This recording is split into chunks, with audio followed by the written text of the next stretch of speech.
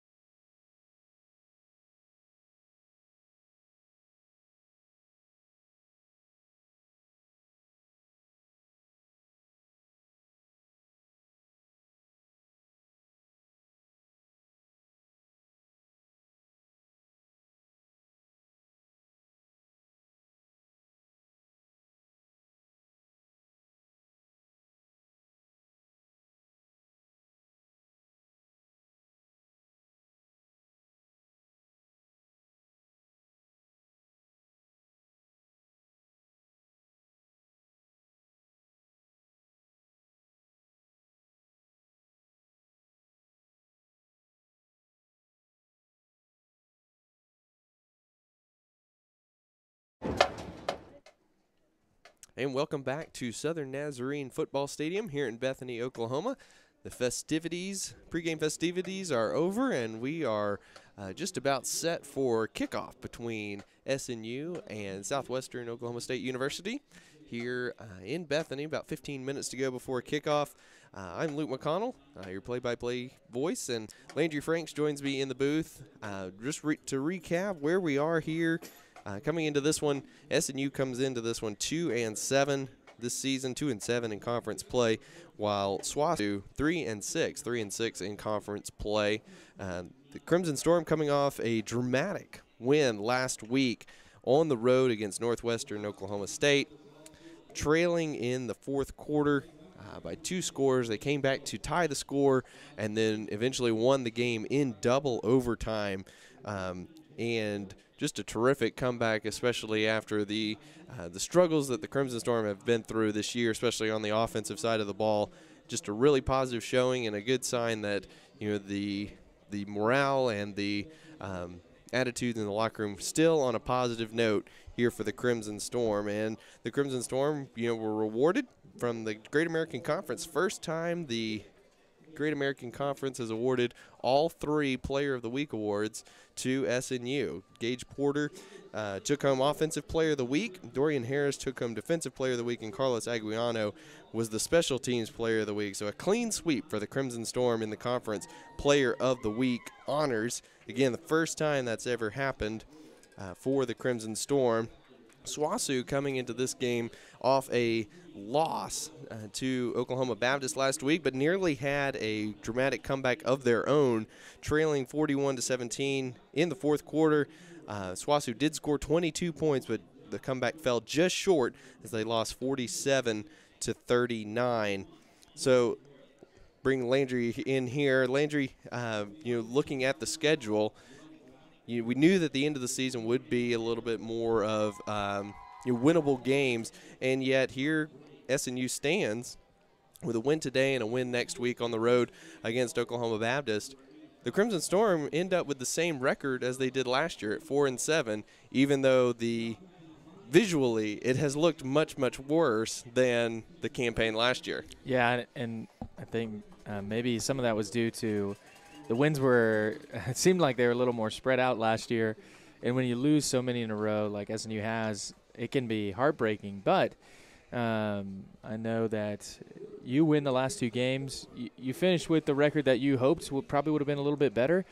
But for recruiting and for uh, morale for next season, uh, ending the season right can be uh, can can be the equivalent to a bowl game in, so, in some regards. You know, it can be a real boost to your team uh, especially uh, when you need it. So um, definitely a, positive outlook after a, a, really kind of a nail biter game last week.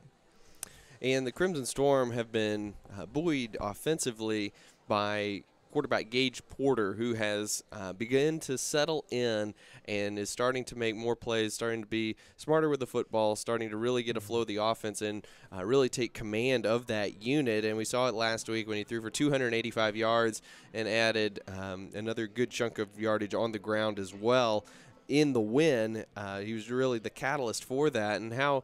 Uh, what have you seen from Porter these past couple weeks?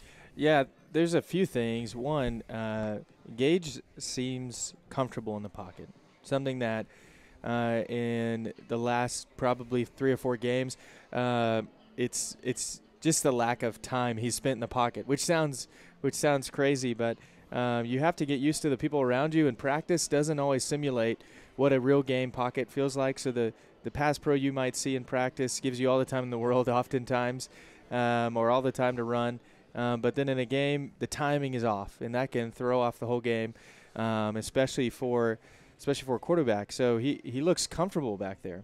And secondly, they, they've also changed uh, a few of the plays of the offense to make it easier on him. Um, so things that work for Spady um, are not always the same that work for Porter.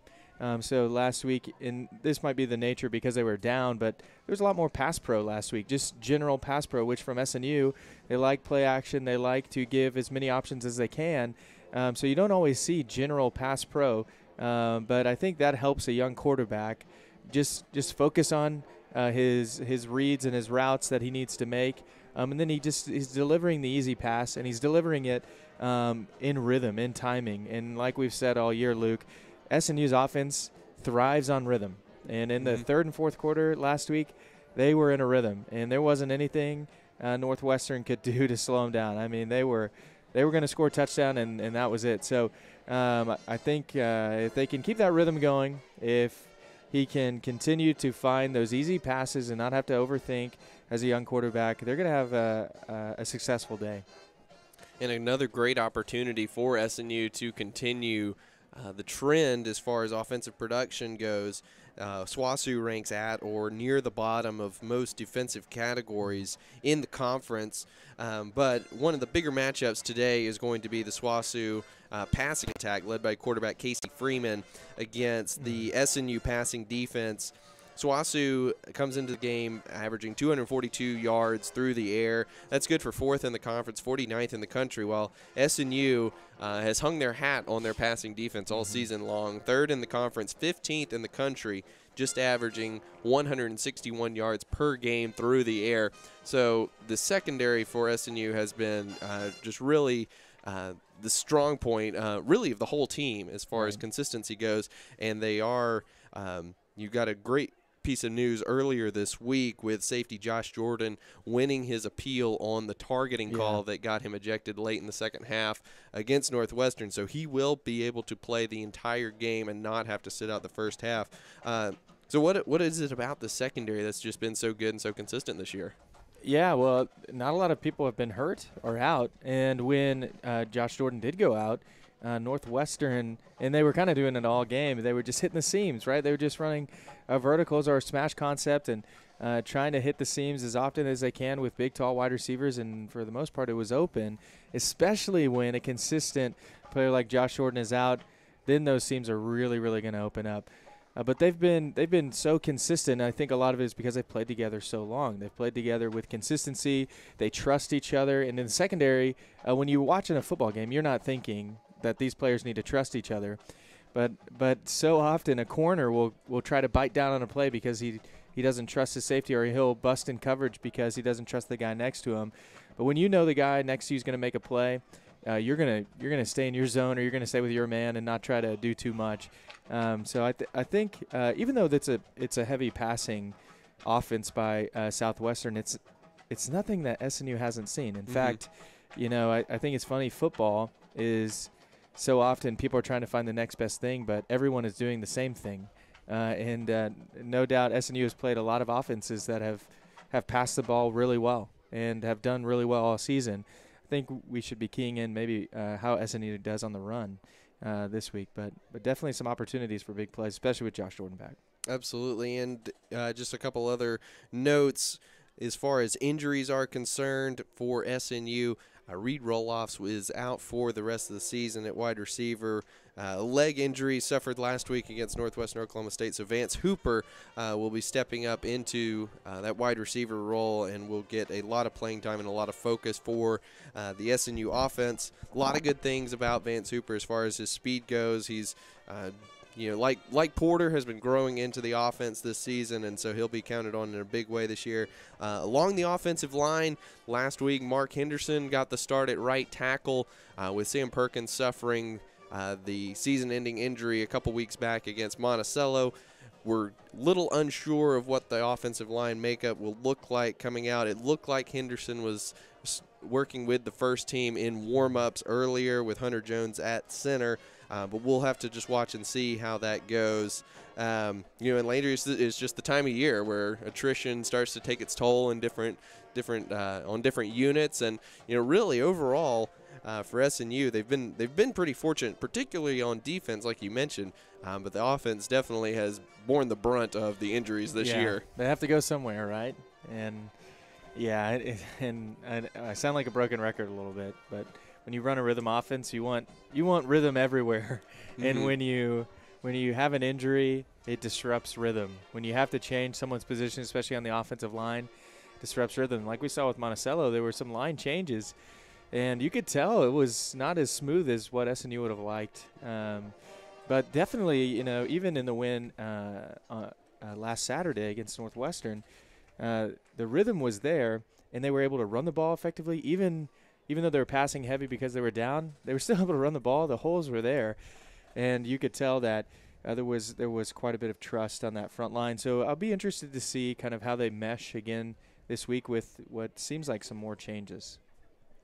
Absolutely. And just to run through today's matchups in the Great American Conference, just an update on the standings here. Uh, it's really Ouachita and Southern Arkansas, uh, and then everyone else. Harding does stand in third at this point at seven and two, uh, but the uh, the Bisons have already lost to Ouachita and Southern Arkansas. So, barring you know some major upsets along the way, there's there's no chance for Harding to grab the conference crown. Ouachita and Southern Arkansas do play today. They kick off just a few minutes after we will here in Bethany. And that game is in Arkadelphia, so a fantastic matchup between the number 20 ranked Southern Arkansas Mule Riders um, and number four Ouachita. Uh, running through the rest of the schedule today, Monticello is at Henderson State.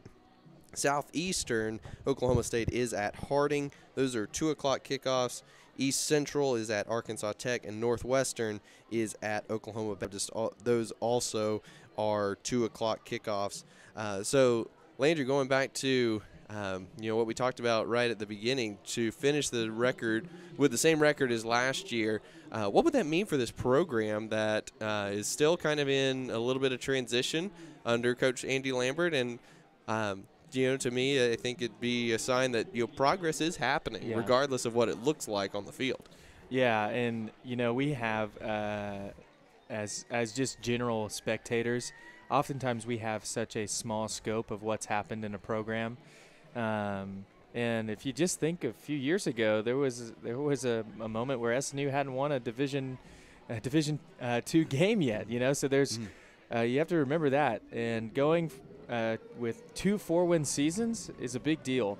Um, now I know that uh, the head ball coach he's not going to want to agree with that, right? He's going to want Mm. more than four wins. Uh, he's going to expect higher things, and I know the players do too. Uh, but I definitely think momentum continues when you continue to uh, to build on a program. Po- to, to, to change a program, it takes time and it takes uh, seeing the long haul of what could happen. So as the Crimson Storm take the field. We are uh, just about set for kickoff, and uh, Landry, as we count down these last couple minutes before uh, we get started here, uh, what are a couple things you're looking for today uh, on both sides of the ball for SNU? Yeah, SNU did uh, some really, really creative stuff with um, with really uh, the most creative thing I saw was their counter. They would bring out of their diamond package, which has three running backs, one quarterback. They would sneak one of those uh, running backs as a puller in the counter play for the quarterback, and then he would sneak out um, right. Uh, was actually one of them was for a touchdown. Um, and they would just sneak him out as if he was going to block, and then they just run a play action pass to him. So I'd imagine uh, finding opportunities more like that to the, to confuse the defense, to make sure they get lost, and to spring guys like Nate Walker open, to use their speed and to get them in a creative way, maybe maybe then differently than what we've seen with just jet sweeps or uh, outside runs. Um, Luke, I, I'm interested. What, what do you think defensively they have to do today to slow down this uh, passing attack from Southwestern? Well, I think you know stick to stick to what you're comfortable with. Uh, the you know the this year we've seen them uh, face off a lot, like you said, face off against a lot of good passing attacks. Uh, you know with Henderson State and uh, amongst others, uh, and really they've they've limited them. You know you don't you know average 161 yards passing for the year, and you know having given up a lot of passing yards to multiple teams. So. Uh, Freeman, uh, Casey Freeman for SWOSU does pose a challenge uh, with this offense, but I think you know d- doing what you've been doing all year is what has worked, and I think we'll see a lot more of that. SNU will be kicking off. They are going to be kicking off right to left on your screen there. It is a very windy day today here in Bethany. The flags on the goalpost sticking nearly straight out. Uh, we saw Carlos Aguiano warming up earlier uh, in pregame, and he was drilling some 54, 55 yard field goals. So moving from the south to north. So it is a very brisk southerly breeze today. Um, a little chilly for those in the stands. Lots of blankets and hoodies up in the stands today, but a great crowd on hand for Senior Day. It is also homecoming here at SNU. So just all the festivities happening here on the home finale for this one. As Aguiano tees it up, and we will be set to go.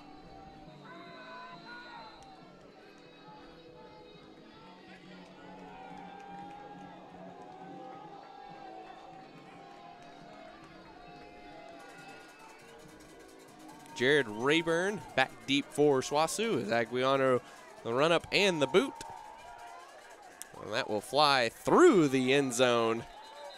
And SWOSU will take over after the touchback. So just a, another example. The wind is really whipping here. Yeah. That went all the way through the end zone. Yeah, I was looking at SWOSU's return formation, and it really looks like they have four guys deep. There's kind of some pockets on the side, and my first thought was, man, they could just do a high pooch and land it right there. But then, then you think about the wind, and like, you know what? Just kick it out of the end zone, make sure. So So Casey Freeman, the junior from Newcastle, comes out to lead the SWOSU offense. Jaden Knowles, freshman from Kennedale, is the running back. Two wide receivers to the right, one to the left for SWOSU. Option look to the left or to the right. Late pitch as Freeman was belted by Dylan Metter. Knowles did manage to hold on to it, but it will be for no gain. Great pursuit there from the SNU defense. Yes, and that's one of those plays that SWOSU will run to try to confuse the defense. Option makes you stay disciplined, makes you choose. Uh, you know, if you're the inside linebacker, you take the quarterback outside, takes the running back, and SNU fitted it perfectly. Second and 10. Fake handoff to Knowles. Pass up the seam. Looking for number 12 there for that's Kevin Fox. And the ball hits D- uh, Da- Daniel Flynn in the back and falls incomplete. So bring up brings up third down and 10 for SWOSU. And no surprise there, uh, SWOSU going for the seams, which were wide open last game, early on in this game. Two wide receivers to either side on a big third down early here for SNU.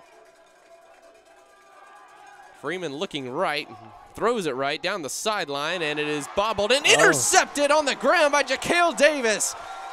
What a great play by Davis. He and Eddie Thomas were battling for the ball, and Jaquel Davis ended up on his back and had the ball fall right into his lap for the first turnover of the game for the Crimson Storm. Shades of Nebraska OU in the uh, early 2000s, right? Agreed. Oh, man. Andre Woolfolk right I- there. I think that ball touched every part of each uh, each player's body right there. That was that was pretty incredible. And terrific coverage from Davis along the sideline. There was nowhere for Freeman to fit that ball in. So SNU will take over first and 10 at their own 47 yard line. Come out with four wide receivers, two to each side, and Daniel Ramos, the senior, in the backfield with Gage Porter. Porter looking left. He's got Devin Brady, sheds a tackle, and is pushed out of bounds at the 41 yard line of SWOSU. That's number 52, Garrett Kilpatrick, the redshirt freshman from Yukon, on the stop. But a big pickup on the play. You can already feel the momentum. I mean, interception obviously is going to help, but SNU seems ready to play today. And it is Mark Henderson who gets the start at right tackle for the Crimson Storm. The sophomore from Amarillo. So Porter in the backfield with, with Ramos. Hooper, Hicks, and Walker to his left, split out. Porter bounces it to the outside and runs over a man at the 31 yard line. Uh, Actually, they're going to mark him just short of the first down at the 32 yard line. Pickup of nine. Yeah, and all they did was just fake the bubble screen right there, and it's a design quarterback draw. The offensive line uh, blocked for the draw.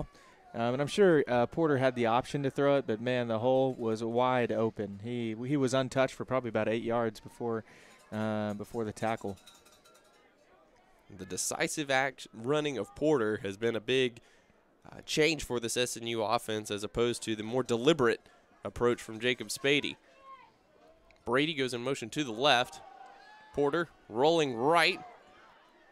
And it's overthrows Brady and it is intercepted on the play for SWOSU, and he's got blockers down the sideline, and he finally steps out of bounds at the at their own 45-yard line. It's number 16 for SWOSU on the interception. And just a little bit of an overthrow there for Yeah. Gage Porter. The play design was great. It's just a play action flood, which flood route concepts mean everyone's flowing to the play action side. And unfortunately, uh, Porter uh, just put a little bit uh, too much mustard on that pass, and it sailed on him. Um, you know, with you, you want to you want to say the wind is a good thing, but sometimes the wind makes you throw further. So SWOSU returns the turnover with a turnover of their own. Freeman fakes to Knowles. Option pitch on the outside. Missed tackle from Flynn, but the ball carrier slips down there. That's Jared Rayburn. Pickup of three, four on the play. Flynn missed the tackle, but Rayburn did slip down after the short pickup. And it'll be second and six for SWOSU just on their side of midfield at the 49 yard line. Freeman takes the snap, looks right, swings it to Knowles out of the backfield. He's got space. He jukes, runs over Angel Hernandez, and he plows down to the 44 yard line for a SWOSU first down. Yeah, just a swing pass, and it's just a clear out concept to get the chunk yards that SWOSU wants on that one.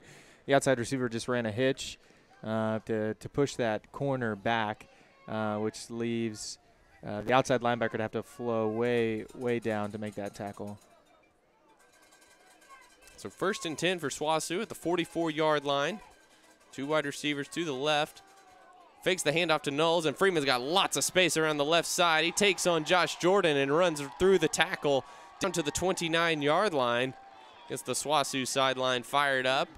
It'll be first and 10 again for the Bulldogs. Yeah, and again, like we said in the first the first drive, SWOSU's just doing the things to make SNU stay disciplined. It's just a play action read right there. Defensive end just flows with the running back. It's an easy pull for uh, for SWOSU.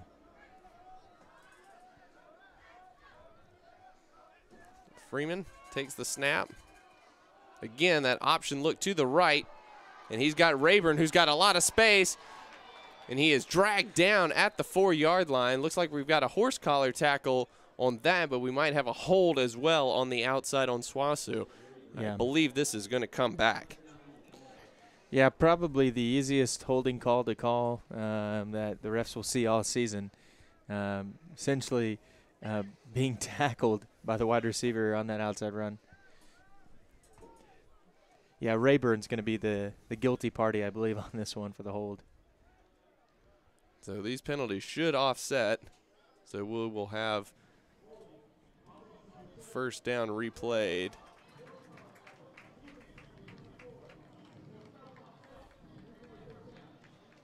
So it will remain first down at the 29 yard line.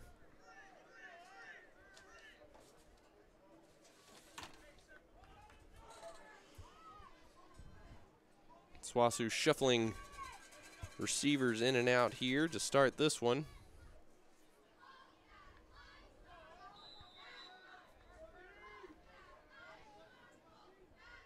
Two back set for Freeman, one to either side. Two wide receivers to the left as well. Freeman fakes and goes option to the left this time, and Knowles is just dragged down in the backfield by Flynn. What a huge play from Flynn. Tremendous closing speed there, Landry. Yeah, absolutely. And it looked like SNU was just running man, or at least man with the linebackers. It's an easier pickup when you have your linebackers, um, one on the quarterback and one on the running back. But uh, uh, SWOSU's done a good job of making them um, really have have to choose between the quarterback and the running back, and that really is when the the option game opens up.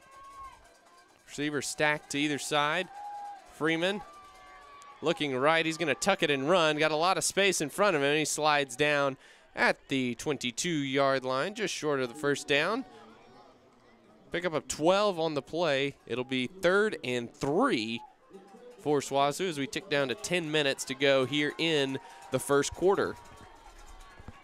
An interception either way for the Crimson Storm and the Bulldogs in this one, and SWOSU has taken advantage of theirs and has moved down deep into SNU territory. The give is to Knowles, and he is taken down from behind by Miles Roll. Just a gain of one, and that will bring up fourth down. Looks like a heavy package coming in for SWOSU. Uh, yeah, it's probably too windy to trust a field goal right here. Um, so they're gonna they're gonna put in essentially two uh, two upbacks, kind of fullback types to try to pick up this first down. SWOSU struggles with field goals. Two kickers have attempted field goals this year, and they're combined four for 10. So, like Landry said, into this win, not a winning formula there. Freeman will give it to Knowles, who probes the right side, and he will pick up the first down and powers through. Noah Campbell down to the 14 yard line, about the 13 yard line, actually, is where they're going to mark that. And that will be first down and 10 as SWOSU enters the red zone for the first time today.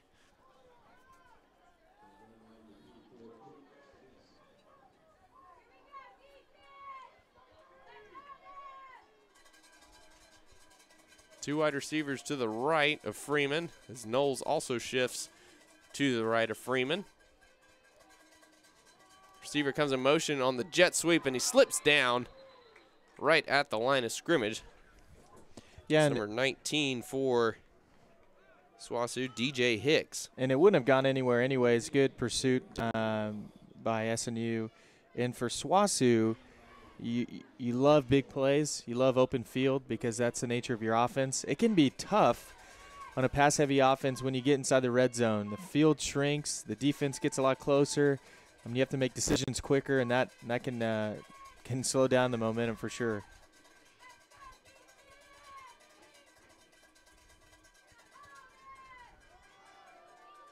Option pitch to Rayburn on the right side, and he is gang tackled by a couple linebackers for SNU. Angel Hernandez got there first. Ethan Spurlock also in on the tackle. Just a gain of one again. Brings up third and eight from the 11 for SWOSU, and a big opportunity for SNU's defense to stand tall here early in this one.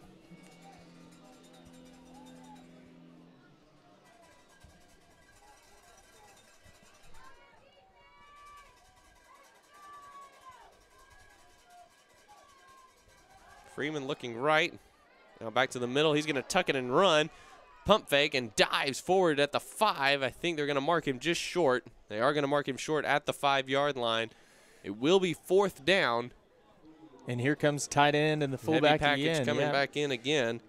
No surprise here, although Freeman's limping around uh, on his left leg.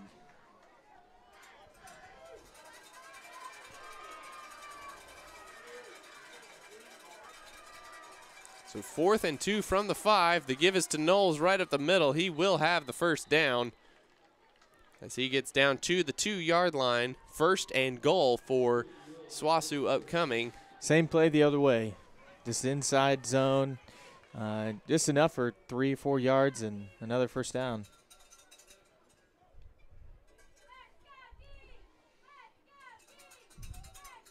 Heavy package stays in as Knowles takes the handoff and he will power his way into the end zone for the Bulldogs touchdown. So just a uh, pretty methodical drive, and SWOSU doing a lot of their damage on the ground on that drive. Yeah, absolutely. And and SNU has not not played the not played terrible uh, as we get swing the swing and gate formation here by SWOSU. Um, And here's the trick play going for two, and it is going to be knocked away yeah, and that by was Dorian Harris. Good coverage on the play there. pretty much dead from the start. I, I don't know if the kicker makes that decision. I'm sure a coach does, but it seems uh, seems as if uh, just kicking the field goal would have been a better option. Pass intended for Xavion McCauley. And Dorian Harris on the perfect coverage there was able to knock that away. So our score was 6:18 to go here in the first quarter.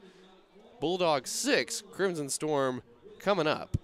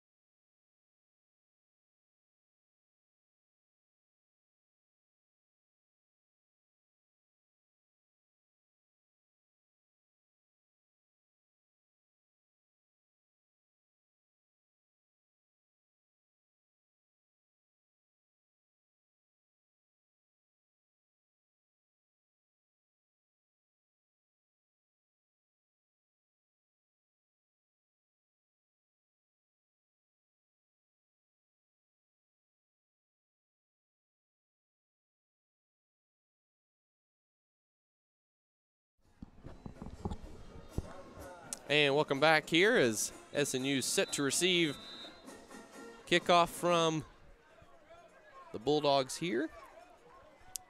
Stephen Gordon and Alfred Greer back deep to receive. Really not that deep with the win. They're standing at the 15 yard line.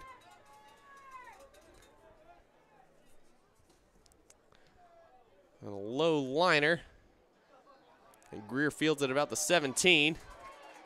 Got some blockers on the outside. Terrific block from Shellmeyer over there on the far side. And Greer takes it out to the 45 yard line. So great starting field position for the Crimson Storm. Yeah, and uh, SNU's offense did a lot of things right. Um, and it's just about just doing a little bit of execution. Now, I mentioned uh, not so eloquently that the wind obviously can push the ball a little further than you want it to go, uh, but but throwing into the wind is nice on those deep passes, but it can also make them sail if your if your feet aren't set on a play action rollout. You really can often put a lot more on a pass than you think you're going to. That's going to be a false start on the left tackle Hunter Flanagan. And now we do have a bit of shuffleage on the offensive line. This was more of what we expected to see with Joey Carrion at center and Hunter Jones, the normal center, shifting out to right tackle. Yeah, and these are the things you expect when you when you shuffle up the line. Uh, it's false starts, things like that. Your your rhythm um, that you can usually have from a quarterback to a center can be off just a hair, which makes people jump just a little bit sooner than uh, than than what they normally do. Greer in the backfield with Porter. Hooper is split out to the right, and Walker and uh, excuse me, Hooper is to the left, and Greer fumbles the pitch, and it is recovered by SWOSU. So just not a good start here for the SNU offenses. Greer was unable to handle the pitch from Gage Porter. And another turnover for the Bulldogs defense gives SWOSU terrific field position at the SNU 37 yard line. 6.03 to go first quarter. SWOSU already with a 6 0 lead and looking to add to that as they come back out on the field here. Marcus Anderson in the game at running back for the Bulldogs. He is left of Casey Freeman. Play action. Freeman looking deep. Nobody open. All kinds of time, though. He's just going to fling this one toward the end zone. And the ball is caught by number seven, Eddie Thomas, but we're going to get a push off here. Yeah, this, this is pretty clear push off. It was a great catch. I'll give him that. He made a great play on the ball, but he made great a play, great play on the ball because he uh, pushed his defender into the turf. Uh, so it's a pretty easy call for the official to make that one. Um, and, so and great defense by Trenton Smith anyway. Even though he was pushed, still managed to get a hand on it. Yeah, absolutely. Uh, Thomas, like you said, terrific catch, but just a pretty blatant uh, shove in the back there, and that will send SWOSU back on their side of midfield with the 15-yard penalty. Yeah. So it'll be first and 25 from their own 48-yard line. In those kind of plays, a scared defensive coordinator like crazy. A quarterback running around, busted routes. Anybody can come up and across the field, and SNU did a good job. Freeman, bit of a high snap. Angel Hernandez coming unchecked on the blitz, and Freeman shove, shoveled that toward Knowles. Knowles couldn't hang on, but that play was going nowhere. It would have been a loss at best. So a excellent blitz call there from SNU as Angel Hernandez unchecked off the edge. So it'll be second and 25 now for the Bulldogs.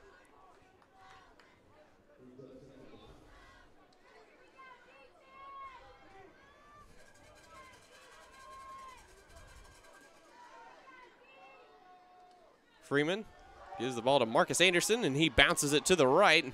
Picks up a big chunk of yardage, almost all the penalty yardage back. He's marked down to the 39 yard line. Pick up a 13 on the play. So it will be third and 12 for SWOSU here at the 39 yard line of SNU. A frustrating second down because this is clearly four down territory. Yeah, I mean, unless unless you hold them to one yard right here, SWOSU's going to go for it. And you put them in for, uh, what could be could have been a third and long to a third and manageable.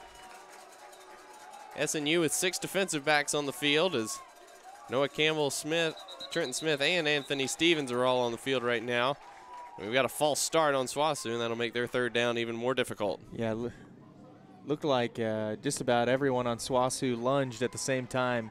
So I don't know if the quarterback's hard count was off or um, or if there was some, some miscommunication, but quite a few members of the, the Bulldogs jumped. SNU along the defensive line without Marin Bilitek, who has a knee injury. He's out for the season. They're shuffling in a lot of different personnel right now. Derek Gillis is at nose guard, normally at defensive end. Freeman fakes the handoff to Anderson, looks right. He's got DJ Hicks with the catch and powers through a couple tacklers, and he will pick up the first down down to the 25 yard line. A strong run there from DJ Hicks after the catch. Carried two SNU defenders for about seven yards there to pick up the first down on third and 17. Back-breaking conversion there Yeah. for SWOSU. I mean, it seems like it's you know it's only the first quarter, but it seems like every time SNU has them in a position for success, they somehow get a first down. The give is to Anderson. He will bounce it out to the left.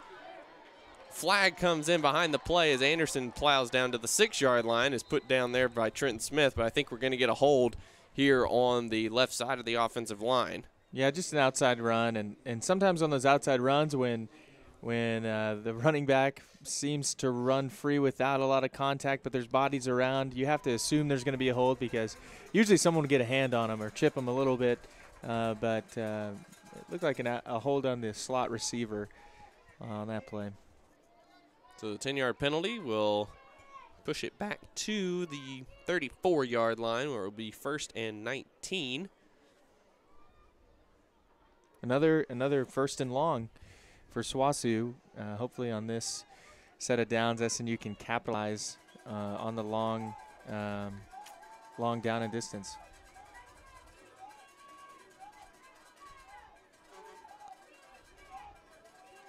Freeman gives to Anderson again right up the middle, and he will barrel down to the 31 yard line. So pick up a three on the play. Zach Lloyd in on the tackle there, along with Daniel Flynn. So it'll be second and 16 here. So we tick down to three and a half minutes to go here in the first quarter. In what has been a little sloppy so far for the Crimson Storm, with a couple of turnovers. Freeman looking left, now back right, steps up in the pocket. He's got Rayburn over the middle, and he will dive down to the 14 yard line, is where they're going to mark him. That will be enough for a first down for SWOSU.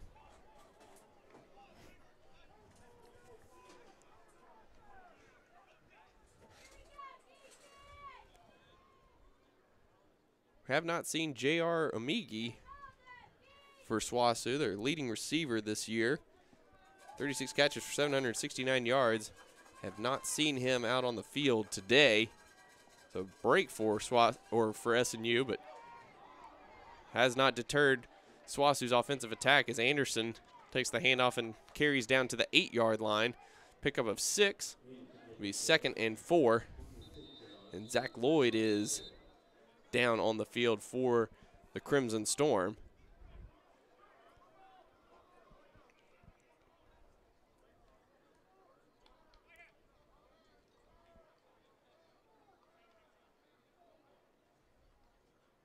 While the trainers attend to him, we will step aside for a minute and be right back as soon as they uh, deal with this injury.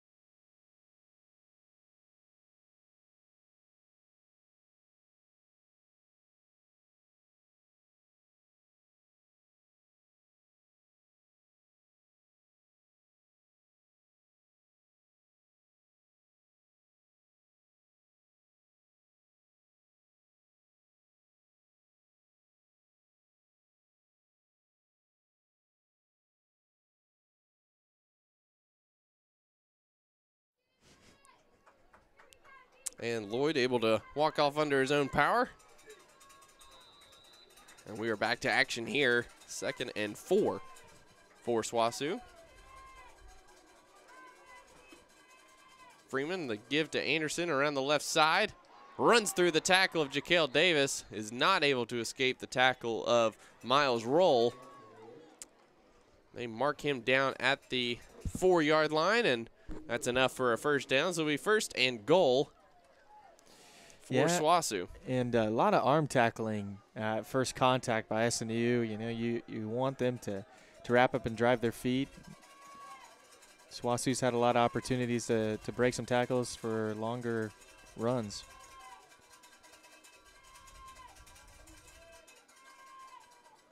Freeman takes the handoff. He will give it to Knowles, trying to stretch it to the outside. Runs through a couple more tackles, and he will pile his way into the end zone for another SWOSU touchdown. Like you said, Landry, just a few too many arm tackle attempts on that posse- on that possession, uh, and that play was the capper. Yeah, SNU is, is putting themselves into great position or positions to to get off the field. Uh, but you know, when you're out there for a long time, in this quarter, they've been out there for quite a number of plays, especially the defense. You're going to get worn down. You're going to do undisciplined things like arm tackle, and so the offense has got to have a long drive. Jackson Will Height on for the extra point, and it is up and good. So with 147 to go here in the first quarter, it's SWOSU 13 and SNU 0. And and SNU doesn't even need to. I mean, a touchdown helps, obviously, but SNU doesn't even need to be concerned with with scoring as much as uh, having a long, consistent drive. Uh, because if you're the defense and the offense goes three and out and you're back on there, you've just been scored on, and it's not like SWOSU scoring on big plays. It's just chunk after chunk after chunk after chunk, and that exa- it's exhausting. And I, I'd love to see how many plays the SNU defense has been on the field just in this first quarter alone. I'm sure it's it's got to be well over 20 plays, uh, which is which is quite a few in, in just one quarter. I bet it's close to 30 even. Yeah, for sure. And you know, SNU, you start look like we're going to get off to a great start with that interception by uh, Jaquel Davis, but then just turned it right back over on their uh, offensive possession on the interception from Porter, and then on the very first play of their next possession, turned it over on the Alfred Greer fumble. Uh, so just haven't, like you said, haven't even had the opportunity really to establish anything uh, offensively yet. Right.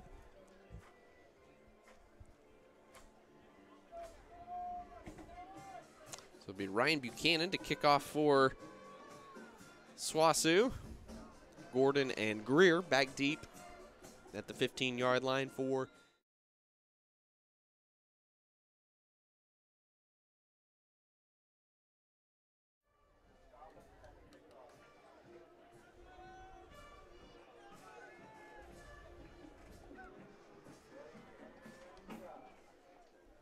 high kick that hangs up for Gordon, who fields it about the 12, takes off across the field, stops, gets up field, but he's going to be taken down at the 19 yard line, and that is where SNU will take over first and 10. Yeah, pretty good pursuit on the kickoff uh, by SWOSU. The blocking was there, uh, but SWOSU was just quicker, quicker than the blocks, and so he has to cut back inside. Still picks up a decent chunk of yardage, um, right about the 20 uh, for SNU's third drive of the day. It looks like we are going to have kind of a rotation as far as the offensive line goes, as Henderson is back at right Mhm. tackle and Jones moves back to center. Ramos in the backfield, along with Jacoby Hicks. Walker and Brady split out to the left, and Vance Hooper out to the right.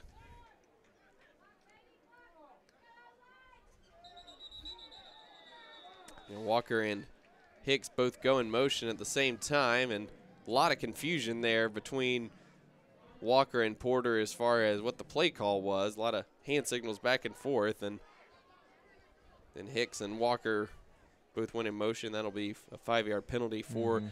the Storm. Just a really looked discombobulated on offense so far. Yeah.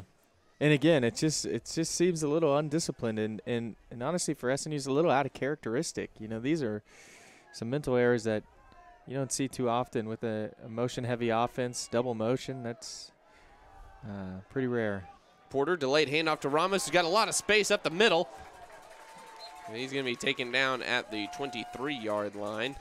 And that, that run was so wide open be, because Grayson Winter pancaked uh, the SWOSU inside linebacker. I mean, was just laying on him, which you got to love that. I know the coaches will when they see it on film tomorrow. Give that man some syrup on the That's- sideline. That's right. You saw you saw that coach, right? The offensive line coach that gives his Uh, players yeah, a shot of that, syrup yeah. after a pancake block. That's awesome.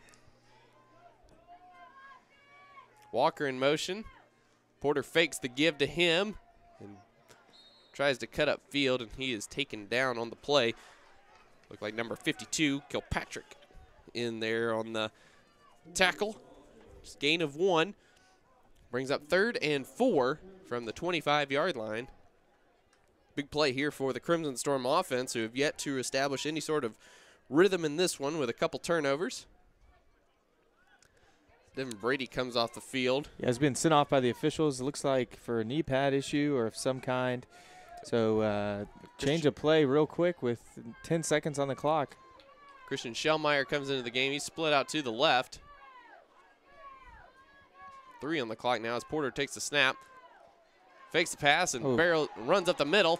He's able to get enough for the first down. Gives a nice solid stiff arm to DeAndre Scott, the strong safety, and Scott throws him to the ground for his trouble. Yeah, it's a good hard run, and it looks like even at the beginning of that play, he got face mask a little bit, but uh, but no call. Either way, it doesn't matter. First down for the Crimson Storm, and a good tough run to end the quarter. So SNU in an early hole here against SWOSU is the Bulldogs 13, the Crimson Storm 0 as we come to the end of the first quarter. You are listening to SNU football.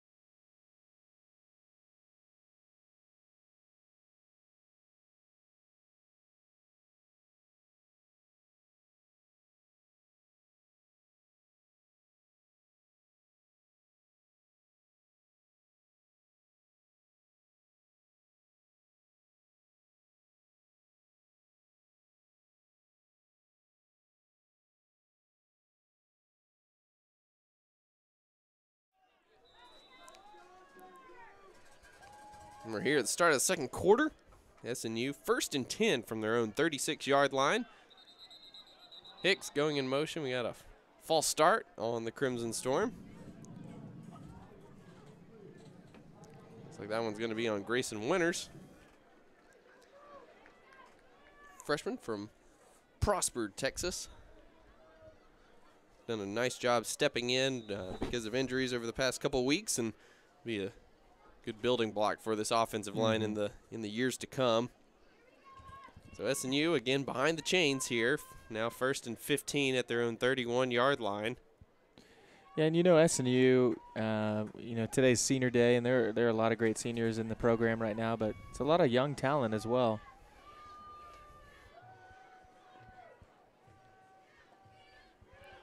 Fake handoff to Walker and Porter runs up the middle and he will pick up the first down all the way out to midfield.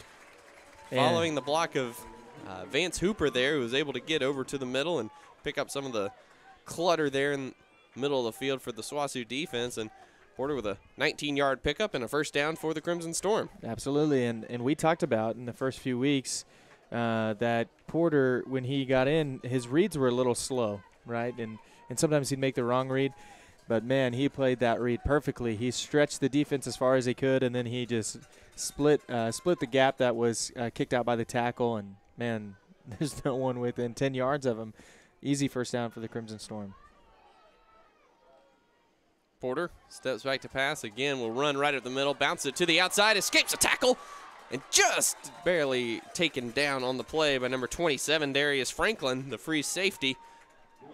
That's another pickup of seven yards for Porter. Be bring up second and three as the SNU offense starting to click a little bit with Porter's running ability. Yeah, absolutely. And this is great for the defense. One, defense has gotten their breather. They've gotten some time off the field. But two, it gives the coaches a couple things. It, it gives them the the ability uh, to talk with the defense initially. But then when you're standing on the sidelines, oh, I might want to I might want to say this or adjust this. Then you have that time to do some real coaching before you get your defense back on the field uh, for an offense like SWOSU who's really clicking. Nate Walker split out to the right. Devin Brady at tight end to the left. Hicks comes in motion now to the right. The give is to Ramos. Good tough running up the middle for the senior running back, and he will have the first down at the 40-yard line of SWOSU. Yeah, and he really made something out of nothing. Uh, there wasn't a there wasn't a gaping hole by any means, but uh, he kind of split the defense right there and, and got just enough of the first down. Another first down for SNU, which means the defense is off the field for a little bit longer. Um, and and like we talked about before the game, this is a rhythm kind of drive right here. Uh, they look really crisp um, after the, the the double motion at the beginning, the illegal illegal shift. It's looked a lot lot cleaner. Sometimes it it is nice as a running back to be 5'8". Sometimes it's not. Right. And SNU will take a timeout here. A little bit more confusion on the communication here. Something we've noticed so far, and this one as far as the offense goes, yes, you have you know guys that have stepped been able to step up as far as the injuries are concerned, but um, you know it really has limited the depth as far as the skill position guys are concerned. Besides Greer at running back and Shellmeyer coming in for one play uh, because of Brady's knee pad issues, we have not seen any other players as far as skill positions go for uh, SNU. It's been Brady, Ramos, or Greer, and then Hooper and Hicks mm-hmm. and Walker, and and that's been it for SNU so far in this Yeah. one. Yeah, and and if they're playing well, keep playing them. You know, and I know we've talked about this before, but if if it's working, let it keep working. Uh, so, and they've looked really efficient offensively. You know, without those two, the two turnovers, you know, they've looked like they've had one of their better days today, which is kind of weird to say because it's down 13-0, but they've played pretty well. Ramos to the left of Porter. Walker coming in motion. Fakes the handoff. Porter right up the middle. Makes a man miss. Got a great block on the outside, and he's going to take it all the way. Touchdown, Crimson Storm. Gage Porter goes 40 yards for the Crimson Storm's first score of today. And SNU right back in this one, pending the extra point. Landry, nothing fancy about what SNU is doing right now. He just got one on one with Franklin right in the middle of the field and made him miss, and he was gone. Yeah, absolutely. And uh, you know what's really impressive about that play, and this is uh, this seems minute, um, but Hooper had the ability to just absolutely block somebody in the back, and he let up. Uh, so that's a, just a small discipline thing. That that's what winning teams do, right? They make those good decisions when they need it, uh, which leads, you know, which sounds silly, but uh, a block in the back obviously prevents a touchdown, but uh, but to not block someone in the back when you're on the field, you just want to hit somebody, especially when your quarterback's running, and to just do those little discipline things. Um, that's how you can turn a 13 nothing game into uh, to way more competitive uh, of a matchup. So I'll be anxious to see the defense when they're on the field. You know, Mm. certainly they've got some rest, um, even though it's only been about you know five minutes of actual game time that they've been off the field. Um, but but I'm sure that they have some momentum too, um, and that's a real a real boost to the defense when the offense is scoring. It was close. It was very close for Hooper. I mean, those Yes. those hands were out. Yeah. They were they were He might have- there. He Might have given him just a little touch. Yes, and you know that ref looked at it and thought, nah, forget it. Yeah. So um, it wasn't enough to make a difference. That guy wasn't making the play. So Yeah. And it looked like he the uh, defensive back was pivoting enough to where it, you know probably refs didn't have the best angle on it Right. either. So right. Better safe than sorry on that one. Yeah, absolutely. Better touchdown than no touchdown. Maybe that's. So we'll see what uh, SNU's strategy is as far as kickoffs into this wind, which is, again, very stiff south breeze today. All the flags straight out from the goalposts and around the stadium. And again, Luke, I mentioned at the beginning of the game, they, they're leaving quite a huge gap around the 40 uh, of a SNU's sideline. And, and if they can high pooch it, you know, they may not want to. They may just want to take the yards, but, but there's definitely some space for them to, to do that. And the ball falls off the tee, so we'll tee this back up, try it again.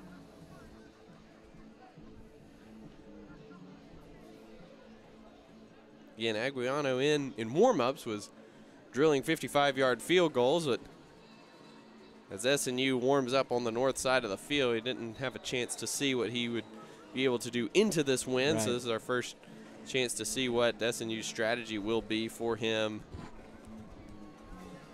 here as the ball falls off the tee again and Yeah. who gets to be the uh, lucky person to hold it That's when the ref is going to say, "You hold this football." Yeah, it's nobody be wants to do it and oh someone, and it's yeah. going to looks like dylan bauer was voluntold to do it Yes.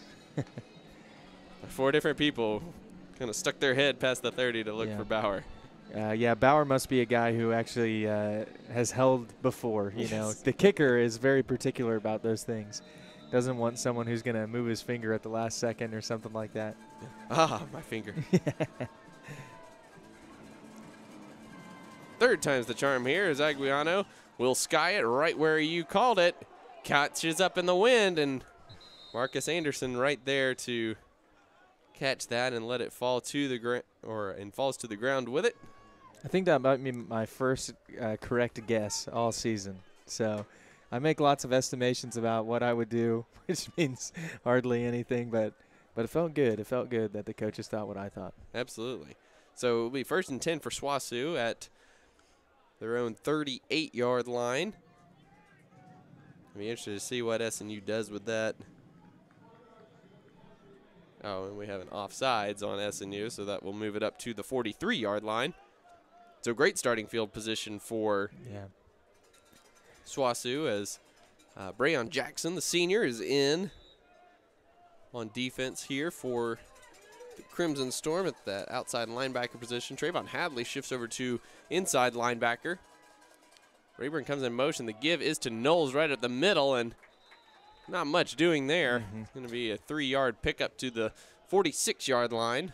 And it's a hard run, but even with the hard run, it wasn't much of a gain. SNU clogged the hole pretty quickly and, and wrapped them up. So second and seven for SWOSU as we tick down to about 12 minutes to go before halftime. Two wide receivers to the right, and Knowles is to the left. Now moves over to the to the left of Freeman. And Freeman will check it down two Knowles out of the backfield. little quick feet, and but Jaquel Davis forces him out of bounds after another short gain of three. So bring up third and about four to go from the 49 yard line. Actually, they mark him to the 50. It'll be third and three now for the Crimson Storm. Yeah, a bit of a generous spot there. But, yeah, uh, I agree. you know, my perspective is maybe a little different uh, than the refs who's on the field, but looked like he got an extra yard.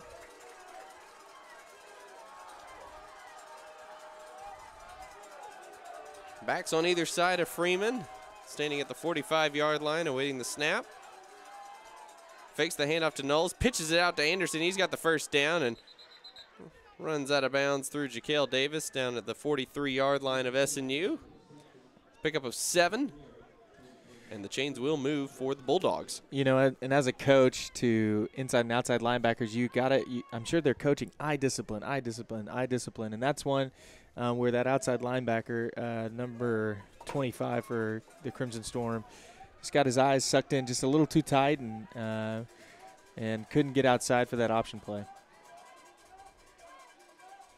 Freeman pulls it out of the gut of Knowles and hits DJ Hicks on the post route down to the 28 yard line. So pick up a 15 on that play. Terrific pass there from Freeman. Just a good read on that.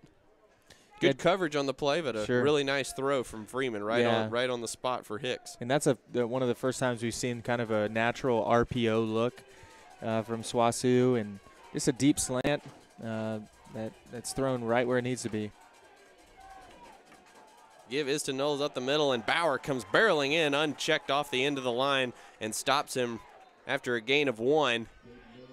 And that's the first time we've seen uh, SWOSU with that that heavier look um, on a first and first and long. Usually, the only times we've seen that is on fourth and short or or on the goal line. So it looks like they're still heavy.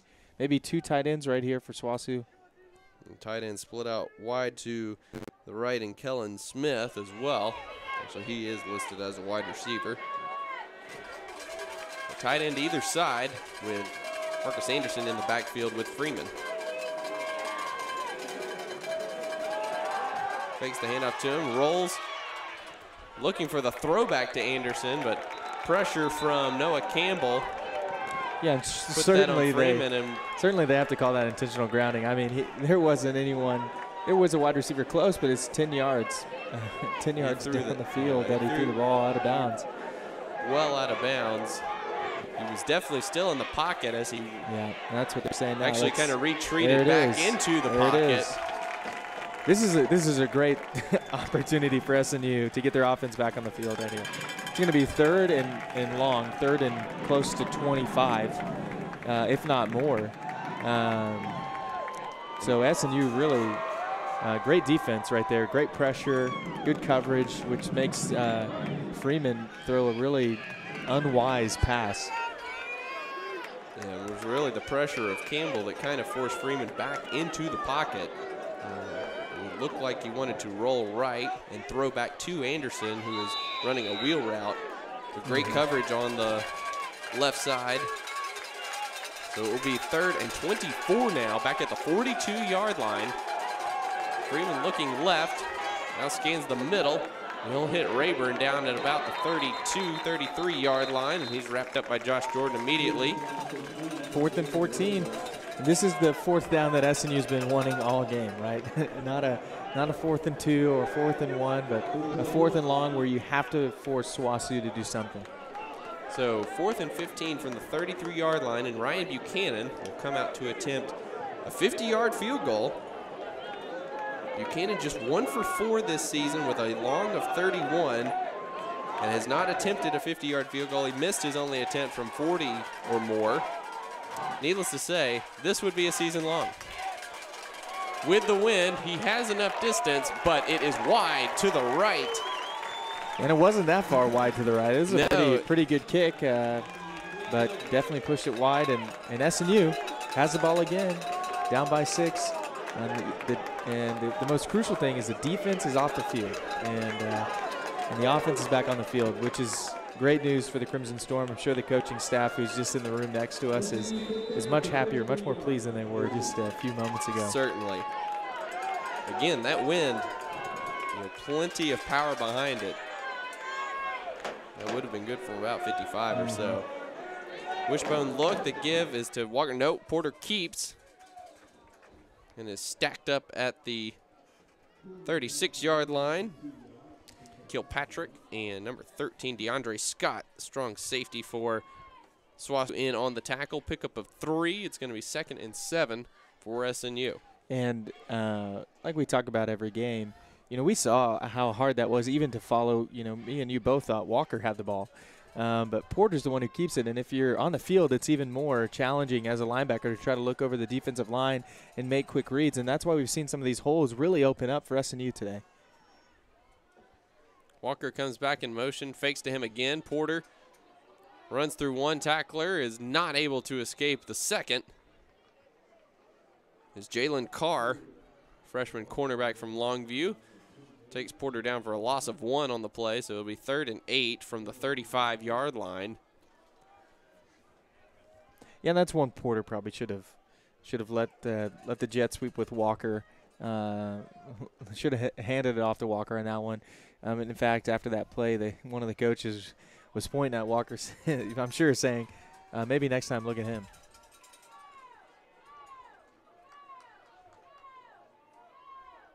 Walker comes in motion one more time. And Porter with the inside screen to Brady, who gets tripped up by Kilpatrick just barely. Two yards short. Picks up six. you go gonna- for it right here. And it's going to be fourth down. You're punting into the wind. Yeah, I think you, I think you got a punt on this side of the Okay. 50. It, it does make it a tough call. Ryan Reed does get a lot of air on his punt, so He it'll be interesting to see what he how he approaches kicking into this wind. Yeah, and he, he's a good punter. I mean, he he definitely has a leg. Um, he's the only punter I've ever seen who who I thought was a defensive end the first time I saw him. Yeah, both by number and by size. yes. He just hangs this up there. Good spiraling kick. And it's fielded at the 32 yard line, and Carr falls ahead to the 33. Yeah, I think there's some confusion. I think SNU thought he called for a fair catch, maybe just the nature of how how long the ball was in the air. I think so. And uh, he caught it, and I think he was a little surprised that he didn't catch it, uh, call a fair catch, and everyone just kind of tumbled into each other. So a net of about 25 yards on the punt. So didn't do a lot as far as flipping the field goals, but certainly better than SWOSU starting at the at in SNU territory. Right. But if that's a, if that's as much as you're going to get on a net punt going into the wind, certainly leaves you plenty of. Uh, things to think about as far as strategy goes here in the second and 3rd Mhm. quarters. Absolutely. And Luke, I'm taking a look at this crowd right here for SNU. It's probably the most full I've ever seen the, these stadi- or these seats. Um, we got people standing on the rails for the first time this We season. got It's lots great of people with chairs in the end zone here as well, so it's a terrific crowd. It really is a gorgeous day for football. The Yeah. wind certainly puts a little bit of a damper on things, but as long as you got a good, good solid sweatshirt and a and a blanket. That's right. Some chapstick. and yes, and some chapstick, then uh, should be good to go. Yeah. And Nope. you've been coming to the stadium for quite some time, so Yeah, for really- you to, for you to say that, that that's uh, yeah, that's a good decade plus of Absolutely. SNU football that And there's been some games that the stadium has been full, but I've you know there's quite a bit of people standing uh, on the rails because there's not enough seats. So SWOSU takes over first and 10 at their own 33 yard line.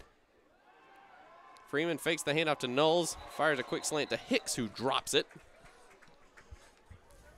Great throw from Freeman right in the pocket of Hicks, but he's unable to make the catch. It'll be second and 10.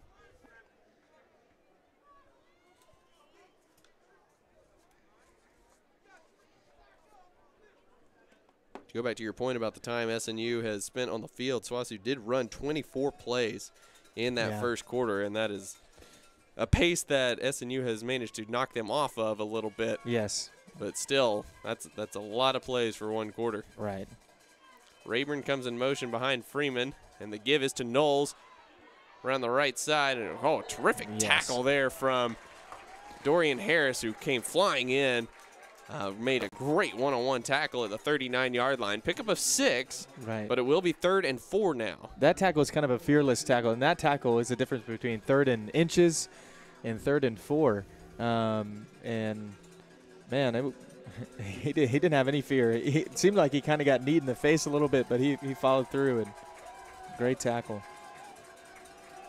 Knowles and Anderson in the backfield with Freeman, who takes the snap, gives to Anderson up the middle, he's met right there at the line of scrimmage by Miles Roll. Falls forward for a gain of about one, but it will be fourth down and three for the Bulldogs.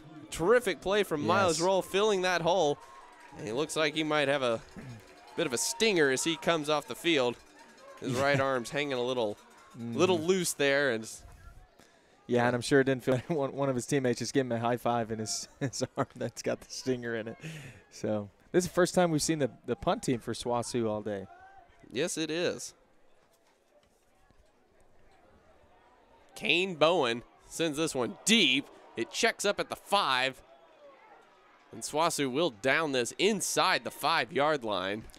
What a punt. And a massive punt there. I mean, not only it looked like that thing was going to bounce 20 yards out of the end zone, and it hit the five yard line and just died. Great punt. Be about a 52 yard punt by my calculations here. Yeah, I'll trust your calculations. I mean, that that thing was oh, in the air. 57, 57 yard punt. Wow. So That gotta thing just flew. got a lot of green grass to cover with five minutes and 13 seconds left. Luke, um, how do you all. how do you if you're the offense, how do you end this half well? Uh, I think just I think if SNU is able to just keep the ball moving on the ground, yeah, I don't think I don't think scoring necessarily is paramount here, but if you can make it SWOSU play defense for five minutes here, that'd be great. Porter fakes pass, runs up the middle, tries to hurdle his own man, is stood up right at the five yard line by number 31, Jacob Rodman. That's as far as Porter will get. Second down now. Looks like he got a little bit of a favorable spot, and uh, I think SNU will be pleased with that. Agreed. six, six yard spot instead of the five. Looked like he had to hurdle his center there, Joey Carrion. Trying to make something out of nothing. And it's interesting, we haven't seen the ball in Nate Walker's hands at all. Walker mainly just being used as a decoy at this point on the jet sweep action. Porter will take the snap. Option look to the left. Late pitch to Ramos. And Ramos was able to fall back on top of it. And it's a similar play to the the first fumble of the game. I mean, almost identical. Just the toss is, is late, and the running back it's been behind the running back two times, and uh, I, you know, I don't want to I don't want to guess, but but I'm going to. I, I doubt we'll see the option like that again, at least at least for a while. Yeah, today's offenses aren't uh, aren't like they used to be as far as being ready for a pitch at any moment, no. literally any moment No, um, on a speed sweep like that. So Walker and Ramos now in the backfield. Walker motions out to the left. Porter rolling out, and the ball is caught. What a terrific play by Devin Brady, who had the defender draped all over him. That's number 16, Trey, excuse me, CJ Jennings, yeah, and I'm not sure how there's all over Brady. not sure how there's not a flag on that one. I mean, he- he's tackling him before the ball even gets there, and Brady makes a spectacular catch. I mean, really, really incredible. We've seen two really great catches. One interception and, and one on the sideline right Yeah. there. Man, they're just terrific. So a big third down conversion for the Crimson Storm as they go into a wishbone look here. Now Hicks motions out of that. Quick pass out to Brady. Blockers in front, but a really nice job there from Gerald White. Free safety out of Tipton, Oklahoma, firing through the blocks and brought that down for a short gain. Yeah, and on those, you you just coach to, to hold on, right? You just hope that you know someone's coming to clean it up. So if you can't make that tackle by yourself, you just hold on as long as you can. Um, and and sure enough, people from SWOSU or the safety from SWOSU was able to, to come help clean it up, or the linebacker, excuse me. Still a pickup of six for SNU, so a very positive play there to Hicks. But with the blocking, it looked like it could have been for more. Walker, as Porter keeps. Walker visibly frustrated on the field. Really late pull from Yeah. Porter, and you know, obviously with plays like that, and both players have to have a very firm grip on the ball. Uh, but Walker visibly getting a little frustrated that he Sure. has not touched the ball yet today, except in scenarios such as that. Right. Yeah, and you know, I don't think it was the wrong read. I think it was just too late. You know, if you, you get if if you've, you've given the ball, you gotta you gotta let them go with it. You Mhm. can't just yank it out of there. That's where uh, we've seen this season some fumbles happen. A little late getting into the play there. Uh, timeout for SNU. 141 to go here in the first half. SNU trails 13 to 7. They will get the ball to start the third quarter here, and I think that's part of the reason why there's not really any urgency to score here.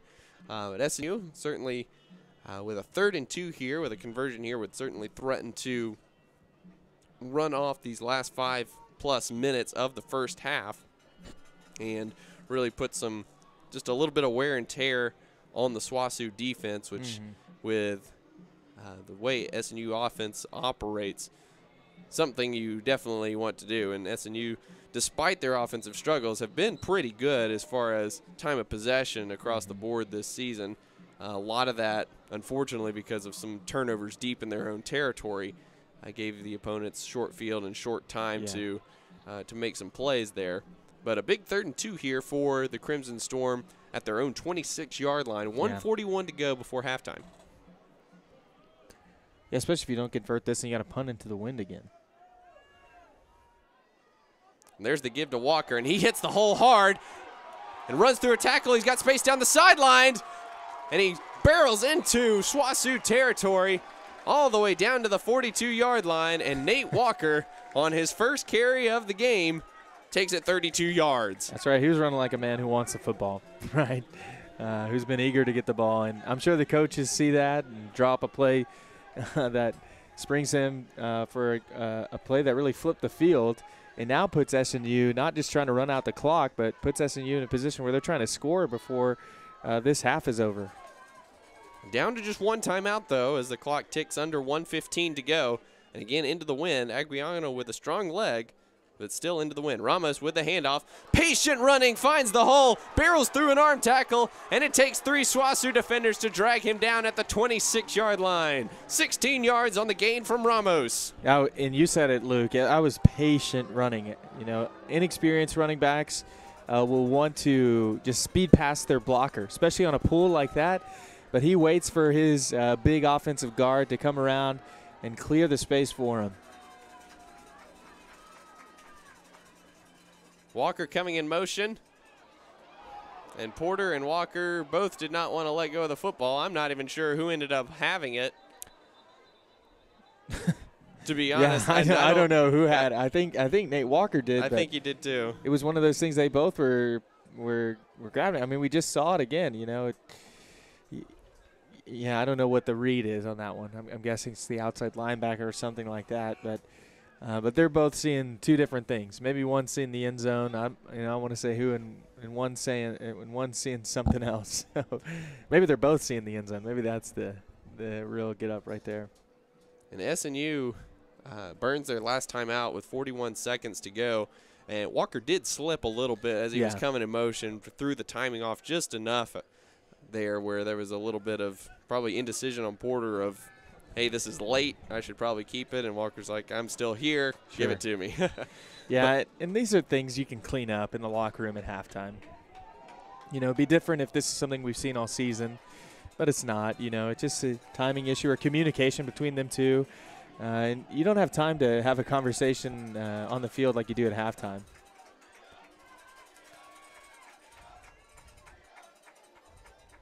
Know, false start or encroachment looks like on the defense. It looks like offsides on number 49, the defensive end, TJ Harris. Looks like who that's going to be on, unless the officials huddle and feel feel differently, one which of the it's any offensive linemen drew that off. anytime anytime they huddle like that, I it's usually not good for the offense. But uh, it looked pretty clear up here that the blitz just came a little early. Um, but Looks like it is going to be encroachment. Yeah, T.J. Harris just a little too excited to uh, disrupt the play on that one. That can happen after a timeout, though, or you know. sure, so- yeah. You just you- look you- to, to you- make a play, especially Right. after a, forcing a loss there. So this And- will help SNU. It'll be second and seven at the 23-yard line as SWOSU will take a timeout. We'll take a quick timeout with them here. 41 seconds to go in the first half. Bulldogs lead the Crimson Storm 13 to 7.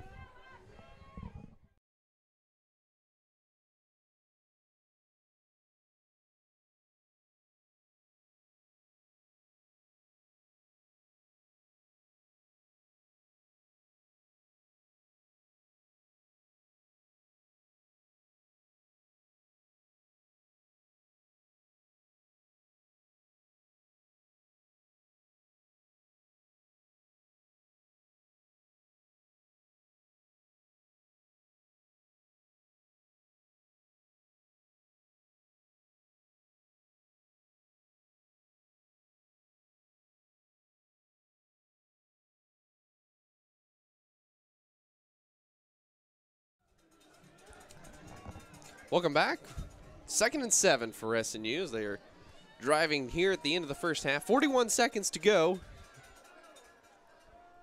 Porter rolls to his right, looking for the end zone. He lobs it up for Vance Hooper, who comes back, unable to make the catch. Looked like he would have been out of bounds Yeah. anyway. Yeah, and I think if there's just a little bit more real estate, if the end zone's 12 yards instead of 10, If Might be all a the touchdown. black paint is end zone, yes, he might have been able to absolutely. score. And that's not a bad read, you know. You you want your playmakers to go make a play, and you know you teach your quarterbacks to throw it to the guys who you think are going to go catch it, especially in the end zone, and oh, you know you'll live with that. Yeah, and looked a little underthrown, which is not a bad thing in that in Mhm. that scenario to come back through the defender, maybe get a penalty as well. Right. Three Yeah, it a- wideouts to the left. Brady tight end to the right. Porter looking for Ramos on the screen pass. Tried to make an acrobatic one-handed catch, but was unable to do that. It will be fourth down from the 23-yard line. And into it- a stiff breeze, so this would be a 40-yard field goal for the Crimson Storm.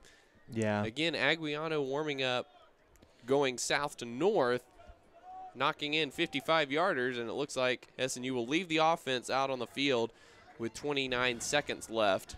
Right. Yeah, and uh, you know, Ramos dropping that pass was probably the best thing that could have happened. Right. Even if he catches and gains a couple yards, the clock runs. But now it's stopped, fourth and seven. Porter rolling left, throws it back across his body, and a great Wow. play by Devin Brady. And SNU will have to hurry to the line to spike this one. What a play! 21 seconds to go. Plenty of time for the Crimson Storm as the clock rolls. Porter spikes it with 17 seconds to go. And a really acrobatic play from Gage Porter throwing back across his body Man. as he's flowing to the left, throws back into the middle. And Devin Brady doing a nice job of just finding enough space to give his quarterback an option there. Brady's had a couple terrific catches today. Yeah, and you know when you're good on your feet and and you're you know you're able to extend the play, those initial routes that have broken down or covered well, they kind of spring open, and he extended it literally to the sideline, um, which gave him the ability to to just drop it in there. Really, man, it looked like it looked like he was shooting a free throw almost, uh, but the first down. 17 seconds to go. What do you see here, Landry? This is the play that they scored on Northwestern. The lob to Ooh. Walker, and that is going to be Yes, targeting. Yep, yeah. It's about as clear as it can get. Good thing Nate Walker hopped right back up because that's a really, really dangerous play. CJ Jennings, it looked like was the guilty party, not looking for the ball at all, just went in helmet first on Nate Walker, helmet to helmet contact. We're going to get a very clear targeting call here, and we will not be seeing CJ Jennings the rest of this one. Yeah, yeah. I don't. I mean, two refs instantly saw it, and they're already out of there. You know, it's 27. I think will be will be ejected. And you can you can kind of tell his body language over there, or maybe 26. It- yeah.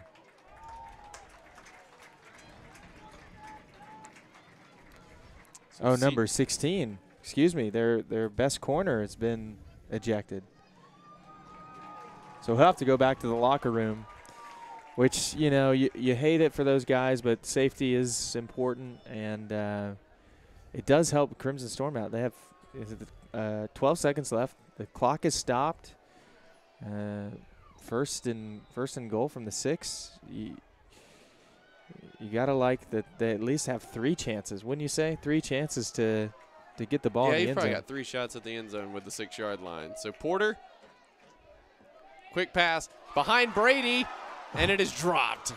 He threw it a little behind him. He, I think he caught it twice, in in the second one just popped out of his hands when he hit the ground. Oh, it's great play design, wide open. Just kind of floated it a little bit and didn't really fire it in there as he probably should have. But hmm Brady got his hands on it, but unable to pull it in. So it'll be second and goal.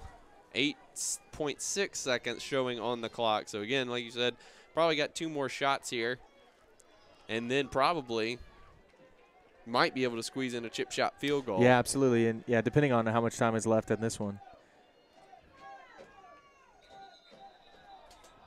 Ooh. And now we've got a false start on the Crimson Storm.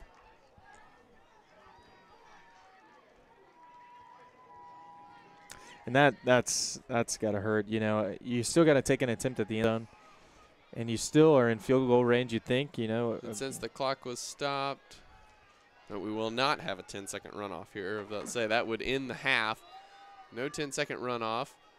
So now it's second and goal from the 11 yard line. Hicks coming in motion left to right. Porter looking that way. Fires it to Brady again. And again, a little bit behind him. Good coverage there on the play by Darius Franklin. And that's only a three second play, right? So you think, you know, if you're the head coach, you're thinking maybe we try one more, and it's risky. Uh, but if you try something similar, you know, you're you're looking at either a touchdown and an opportunity for a field goal. So SNU is going to try one more shot to the end zone. I would imagine it'd be another dig route, slant route, something like that over the middle, quick. Um, that if it's incomplete, you can throw it quickly. Outside routes just take just a little too much time to to get started. And not having Reed roll-offs here is huge. You would have expected at least one fade to him in this scenario. There's the fade to Brady in the corner, and it is going to be short, Picked off. and it is going to be picked off. But that's the end of the half. Unfortunate, man. So intercepted by Jalen Carr. But like you like you said, the fade pattern to the corner just took a little bit too long to develop. So even if that had fallen incomplete, would have been no time for a field goal attempt for the Crimson Storm. But still a solid 90, 90 yard drive or so. Yeah. Burned off the last five minutes of the first half. And if and if they had another minute, they're running the football right there. They're doing what has been Or at least have one timeout. Right, yeah. So, you know, there's you're frustrated that you didn't score in that play, but you've got to be really pleased if you're if you're SNU. Uh, you got to be pleased that really SWOSU what have they done other than, you know, your own mistakes? What have they done to slow you down offensively? They Mhm. haven't they haven't really done anything, you know? Right. Um, so Luke, what what do you think SNU has to do to to get the lead and then maintain the lead? Obviously, score more points than them, but you know, yes, I think, I think level. scoring more will be key to winning the game. um, no, I think um, you know, like you said, the offense has been moving the ball pretty well hmm throughout the game. Uh, we saw a little bit more passing there on that on that drive than we had uh, throughout the game so far. But you know, in SNU, we'll start the ball, start with the ball in the 3rd Mhm. quarter. So that'll be big for them to have a drive, a sustained drive. Um, to start the third quarter, maybe wear the SWOSU defense out a little bit more, uh, put them in a position where they're, you know, hands on their hips, hands on their knees a little bit, Yeah, um, as far as um, their endurance level. So, um, a lot good opportunity here for for SNU to to build on that momentum from the last drive. Like you said, would have been nice to come away with p- at least some points there, Mhm. cut down the margin. But regardless, um, you know, good good job putting pressure on the SWOSU defense there at the end of the half. And we are at halftime here. SWOSU leading 13 to 7. SWOSU jumped out to a 13 nothing lead right off the bat on their first two or first three possessions, I should say. First possession ended in a interception. Their third, second and third possession ended in touchdowns. So SNU battled back, really controlled the half from that point on. And Crimson Storm, like we said, will get the ball to start the second half in the third quarter. So we will step aside for, for halftime. We'll come back and go over some stats and other analysis closer to second half kickoff. Again, your halftime score Bulldogs 13, Crimson Storm 7.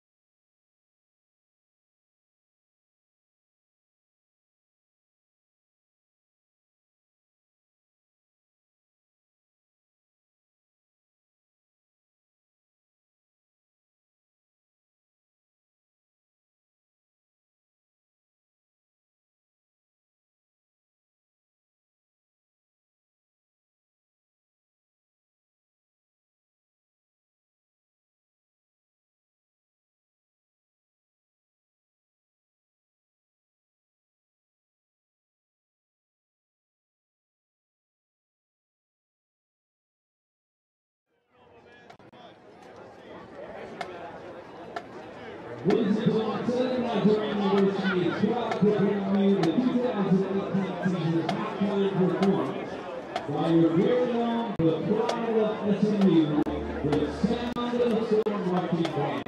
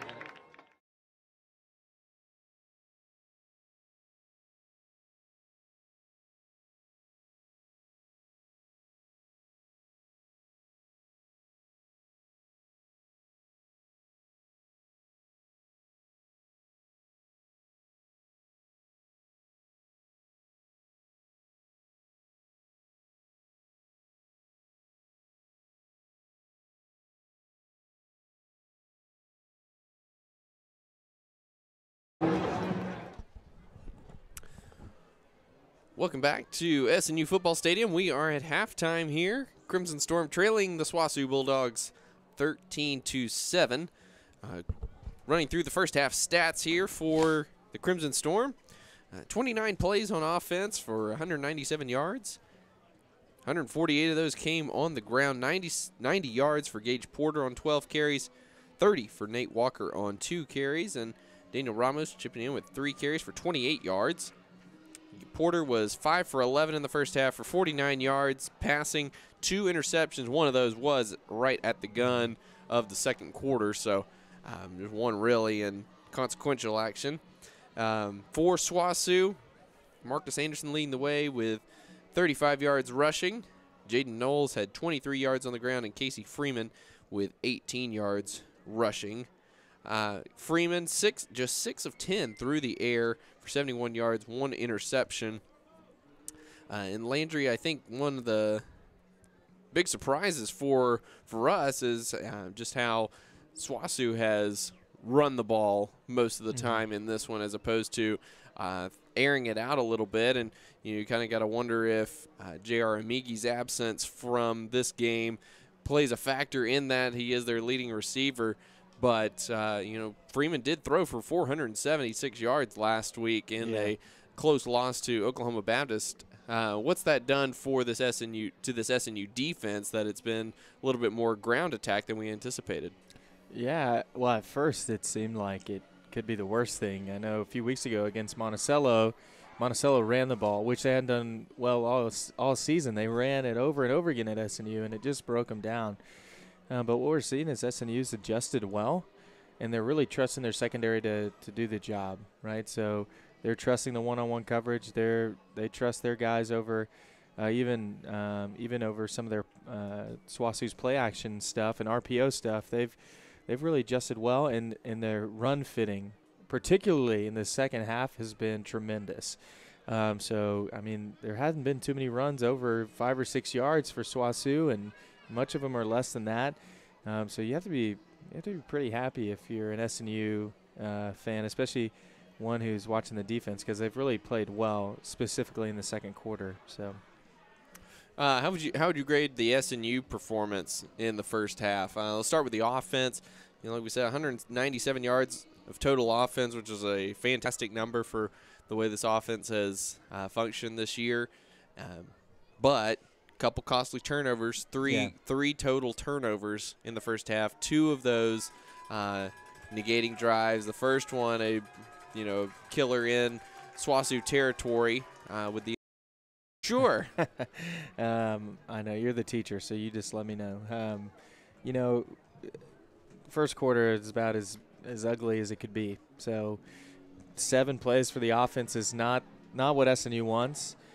Um, and 25 plays for the defense on the field. That's again, it's not what SNU wants, and so I would grade that just about as poor as you could. Um, but uh, for the second quarter, I, you got to think it's just about as good as it could be. Right now, you have the you can't score a touchdown at the last. If you had another timeout, you probably scoring that touchdown. But SNU controlled the second quarter. They didn't just play well; they controlled it. Right, like SWOSU was was forced into doing what SNU wanted to do, uh, offensively and defensively, and and there's no reason to not expect that the rest of the game. I know both teams are going to make adjustments, but um, SWOSU has no answer for the run game for SNU. And if SNU can be on the field offensively, it's going to wear out SWOSU's defense. We're going to see big plays like we saw in the in the beginning of the second quarter with Spade or not Spade, excuse me, Porter's touchdown. So I, I would expect to see them control the game. Um, that being said, anything can happen. SWOSU can is a big play threat. You know they they can score at any moment. So uh, time will tell. What do you think? What would you grade him at? Oh, I'd you know probably split the difference, go with like a B minus as Yeah. far as that. I think the good was a lot better than the than the bad, just because of the you know lack of time they had on the field. I think it was the biggest hindrance there in the Yeah. first quarter was you know not even what they did was poor, but um, you know they just didn't have time to really do anything because of the because of the turnovers.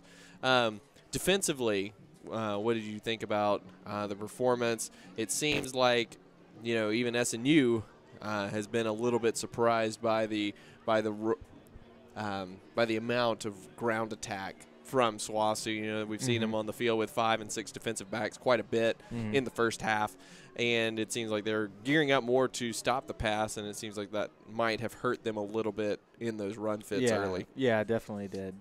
Uh, I would imagine, you know, like like we've talked about, like probably some more man or cover one type uh, offense, or excuse me, defense. Uh, so making your corners play man to man, um, and and giving your outside linebackers or you know your inside linebackers a chance to be uh, guarding those backs tightly.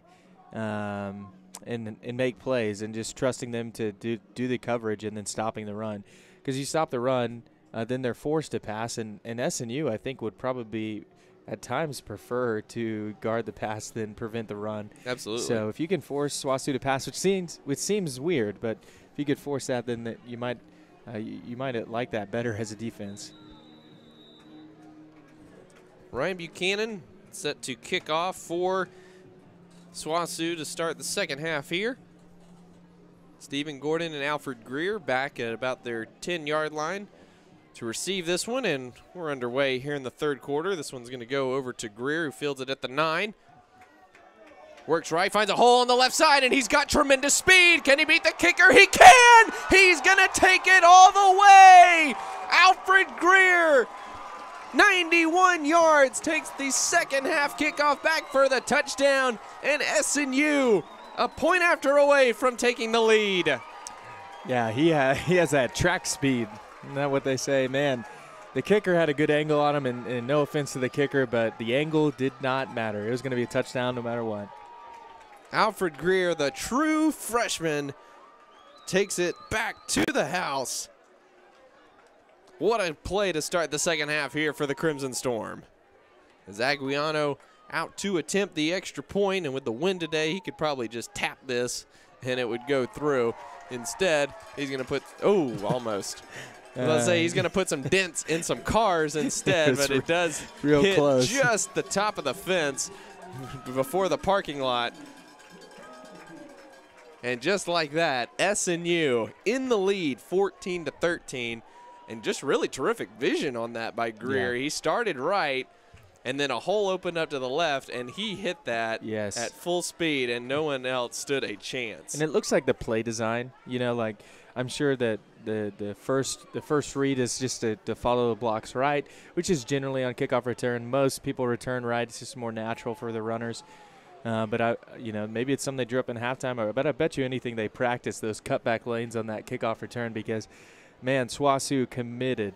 All their guys left, and when he made that cutback, there wasn't there wasn't anyone there, and and his speed is faster than anyone else's speed.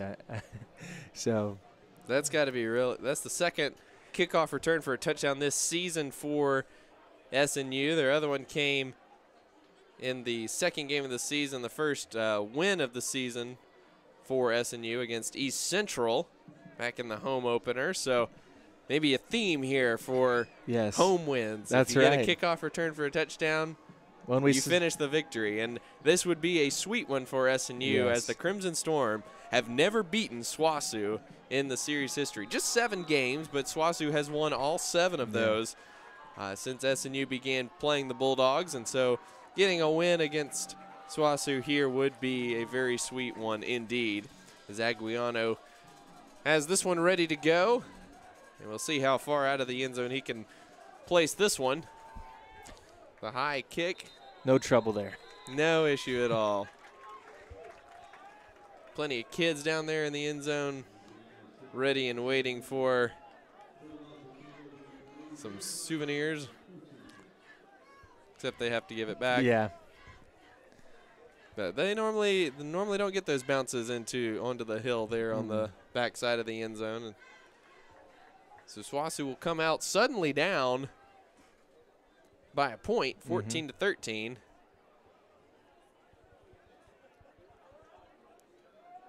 The Crimson Storm come out. Looks like just four defensive backs on the field, four linebackers there. The handoff is to Anderson, and big collision there with yeah. Bauer and Trenton Smith.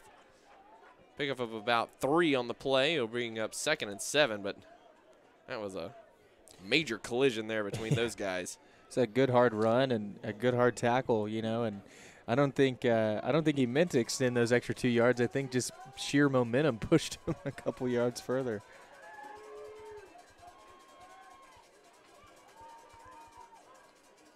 Freeman gives to Anderson again, and it's Daniel Flynn who gets in there to make the tackle, but Anderson keeps the legs churning and falls forward just shy of the 35 yard line. It would depend on the spot, but I believe we're going to have third and about a foot.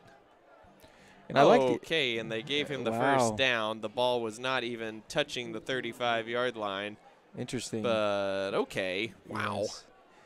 You know, it was a good play play design. You just got to keep your feet churning. If you're Flynn, he blitzed off the edge right into the play, uh, but was trying to strip the ball. And maybe next time just wraps up the tackle.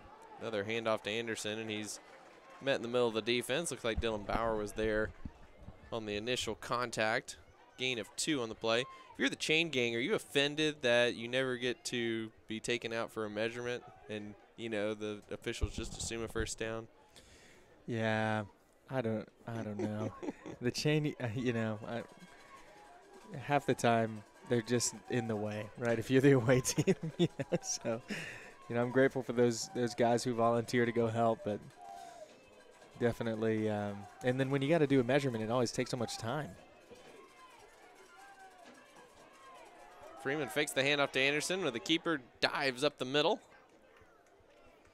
He's going to be marked down at the 42 yard line. Yeah, SWOSU coaches are wanting uh, a better spot on that, and if you're a SWOSU fan watching this this broadcast, you probably are too. But for a quarterback, it's where they give themselves up, um, and and he certainly dove two or three yards before the line of scrimmage. So third and three. SNU defense with a great opportunity to get off the field and keep the momentum going.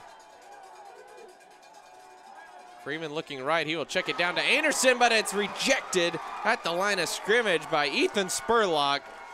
Batted back in his face, and that will bring up fourth down for SWOSU. Terrific play there from Ethan Spurlock as Anderson had a lot of space there in the right flat. Definitely would have picked up the first Yeah. down in that Oh, yeah. scenario. So this is where you got to watch for, for a fake. You have to be disciplined right here. uh, because fourth and three, this is a definitely fake territory.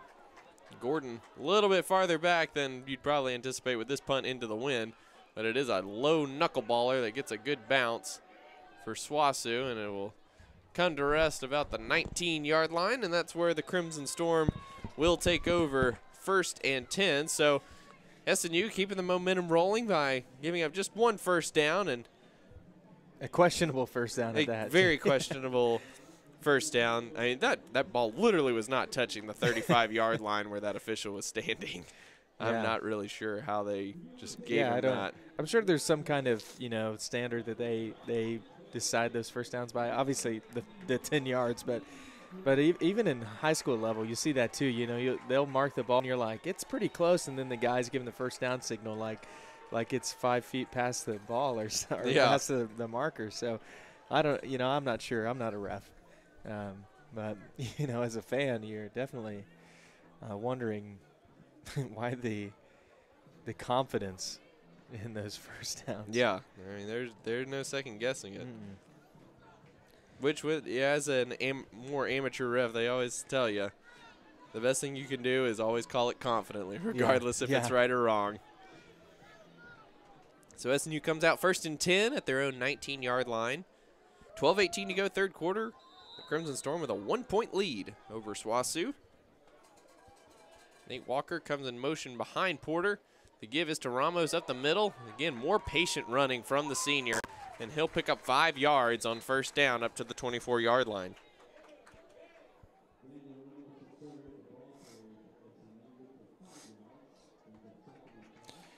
Yeah, and a, and a little bit of a different look uh, for SWOSU. Obviously, there's a new corner, 29, um, for SWOSU, but there's also a new linebacker, uh, Johnson Miller, the inside linebacker, number 46, who's getting his first reps today. Two wide receivers to the left, one to the right as Walker comes in motion, right to left. Porter fakes the give to him. Now backtracks. Walker gets a blindside block on Kilpatrick. And he's kind of fortunate that wasn't flagged. Yeah, I know that could Officials be a have crackback block for sure. made it Um, a point to eliminate that as part of college football this year. But overall, that play goes for a loss of about three. It will now be third and eight from the 21 yard line. Yeah, it was well played by SWOSU. I mean, it, there was there was nowhere to go from the start. Even with a great block, it's still nothing much.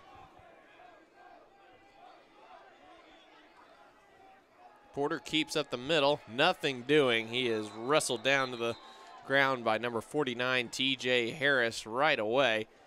That will be a quick three and out for the Crimson Storm, and they will have to punt. Yeah, and it and SNU, you know, probably just needs to talk to Porter a little bit about handing the ball off a little more. They're obviously keying up the quarterback power, quarterback run, um, so that outside zone is really gonna it's gonna start opening up.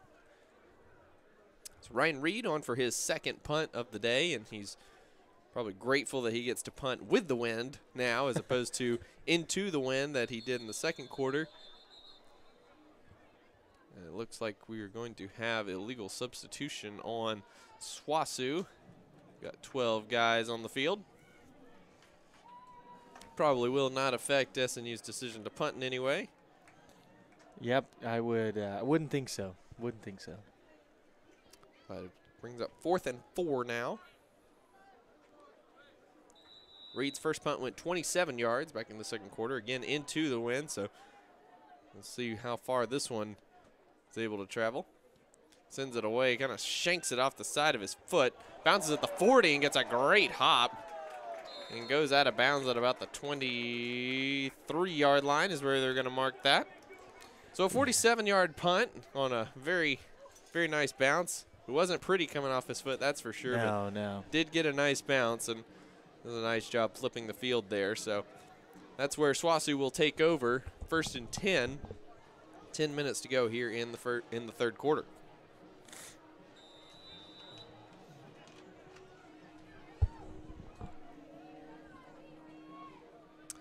I must say it should be a prerequisite for all inside linebackers to have a neck roll like Dylan Metter has. I'm very appreciative that he's They're- yeah, they're gone kinda- with that throughout the year. They're kind of disappearing. The handoff is to Knowles, trying to bounce it around the outside, and Miles Roll says absolutely not. Great job by Roll fighting off his block and making the tackle for a two yard loss back at the 21 yard line. Yeah, I'm a fan of those, uh, the really high neck rolls. Uh, I'm a Cowboys fan, you know, and Those are Uh, definitely gone. yeah, th- there's one. We we just drafted a guy from Boise State, man. He he rocked. Pass, there's a fade down the hi- sideline for Hicks. That is incomplete, but we do have a flag. It was really late, you know. I, I think the sideline probably helped out with that one a little bit. Agreed. A lot of contact over there, but didn't look like Jaquel Davis was doing anything other than shielding him into the boundary.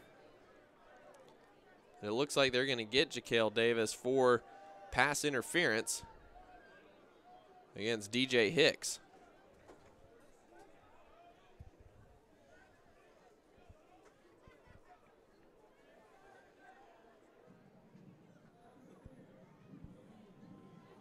That will be the call against the Crimson Storm cornerback. Jaquel Davis, just a sophomore, has inter- one interception or two interceptions now this season, including his one earlier today back in the first quarter. The ball moves up to the 38 yard line where it'll be first and 10.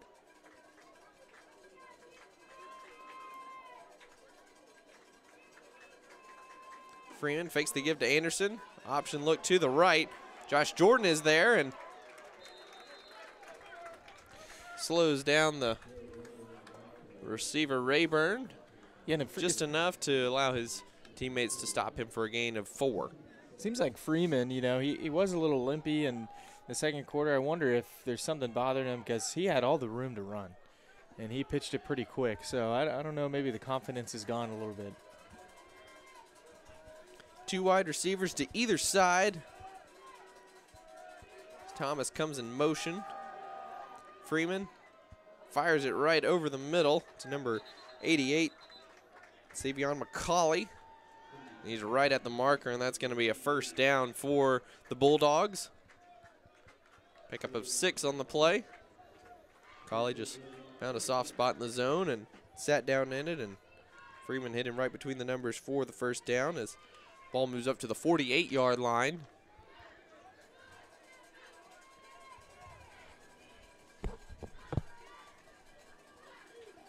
Freeman looking left quickly.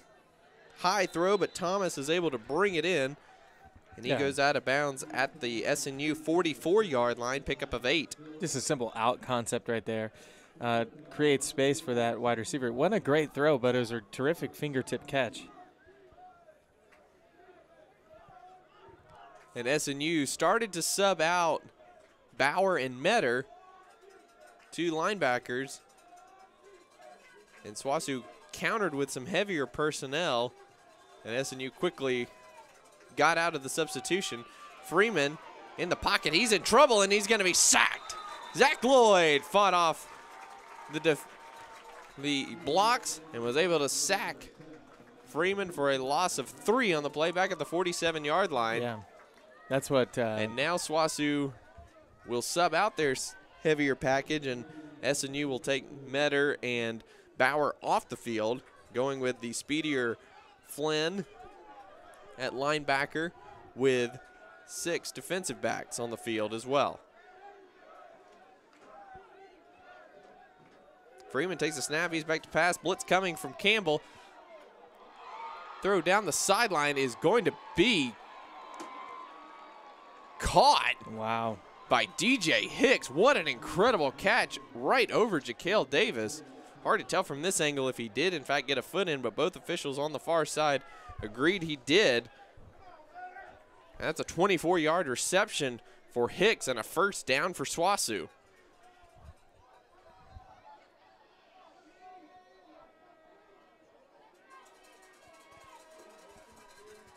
New quarterback in. Tyler Marr, backup quarterback, is in now. And he gives to Anderson up the middle, and he's chopped down by Miles Roll at the 20 yard line. Yeah, it seems like Freeman just couldn't something with his foot or maybe his calf. It didn't look like he could really step off. Um, so we'll see if he comes back into the game, but still remaining on the sidelines right now. Pickup of three on the play brings up second and seven from the SNU 20 yard line. Marr fumble the football, and Noah Campbell comes up with the recovery at the 26 yard line. Marr had to pitch it quickly as the defender was right in his face. And as he did, it looked like the defender got a hand on the pitch. And Noah Campbell was able to fall on the loose ball for a huge turnover for the SNU defense deep in their own territory. Come with a huge play against the backup quarterback. And SNU will take over at their own 25 yard line. Yeah, just keeping that momentum with the Crimson Storm. I mean, they couldn't ask for a better start to the first, uh, to the first or the second half. Excuse me. So the offense back on the field for SNU. Porter is flanked by Ramos on his right and Walker on his left. Walker goes in motion to the left. The give is to Ramos, following the pulling Grayson Winters. And he just moves the pile forward to about the 32 yard line. Never going down, Daniel Ramos. That's right, keeping those feet moving. Keeping those feet moving. It's hard to- had a huge day on senior day. Yeah, absolutely. And uh, it may not show up in the stat uh, column, but man, he's run so hard, um, and he's been so patient. Um, again, it's just like earlier in the first half. I mean, he's just waiting for that pulling guard to come around, and then he's just falling right behind him, getting as many yards as he can. Uh, very unselfish running. So second and three from the 32 yard line now. Walker in motion. The give again to Ramos, following the pulling right tackle, Hunter Jones. He powers ahead through another tackle for another first down for SNU.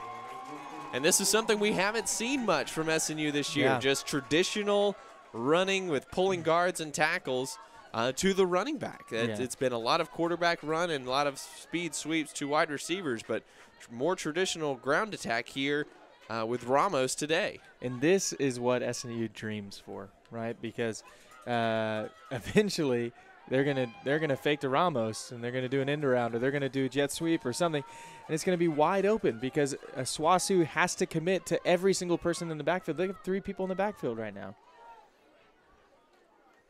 The give is to Ramos again, right up the middle. And he just continues to power.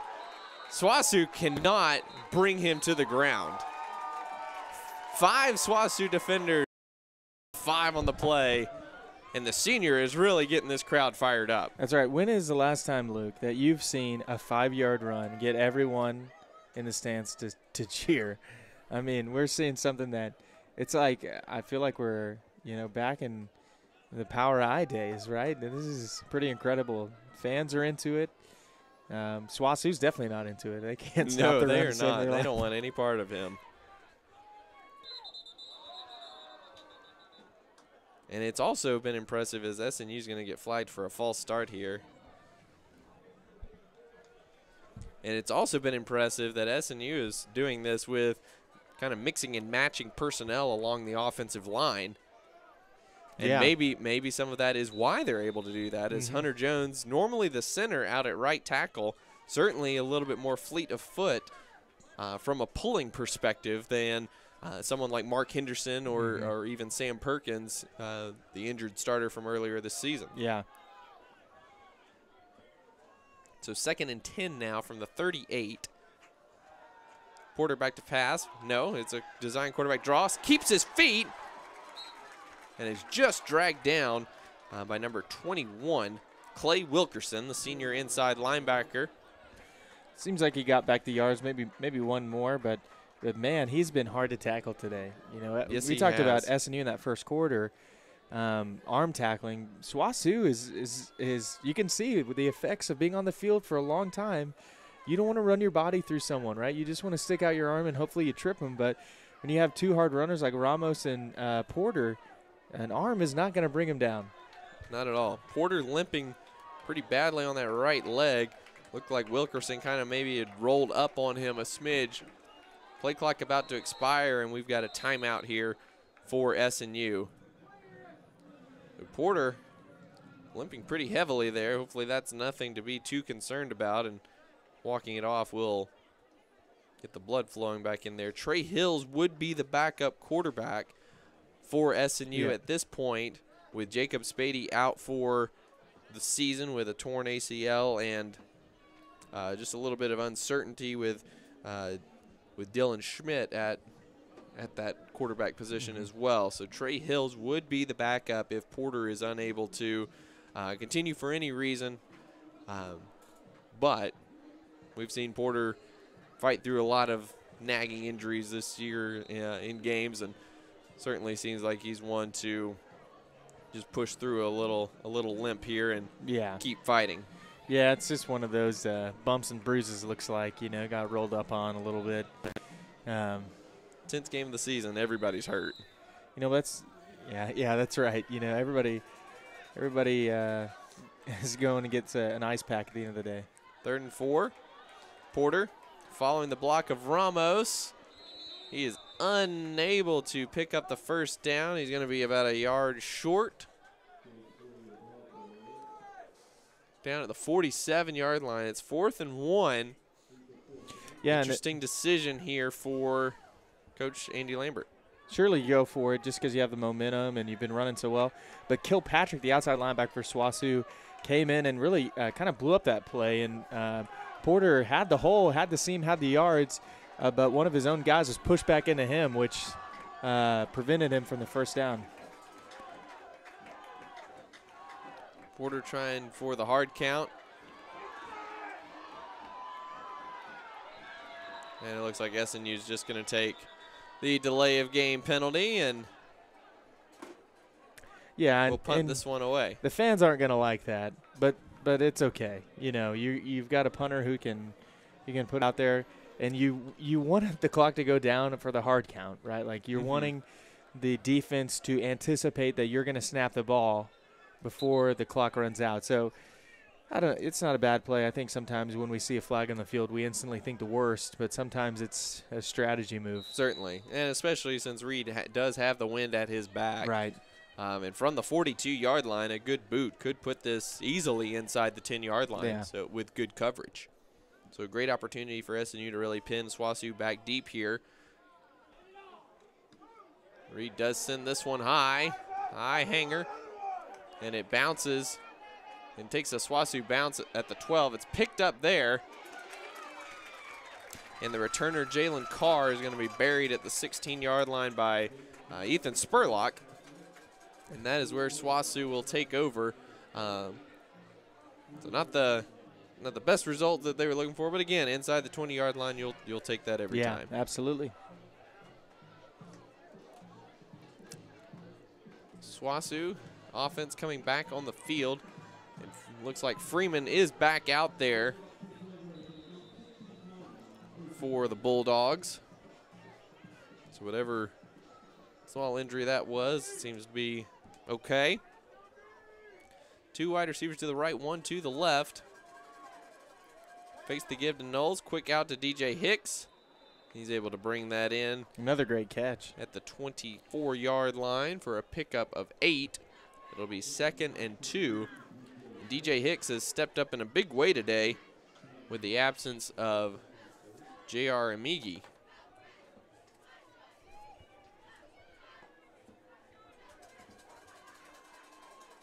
Freeman back to pass, looking right. A lot of time, nobody open. And he hits Eddie Thomas coming back to the football at the 36 yard line. So pickup of 12 there. Nice job by Thomas working his way back to the quarterback. to Pick up the big gain and the first down. Jason Gully into the game at on the defensive line for SNU.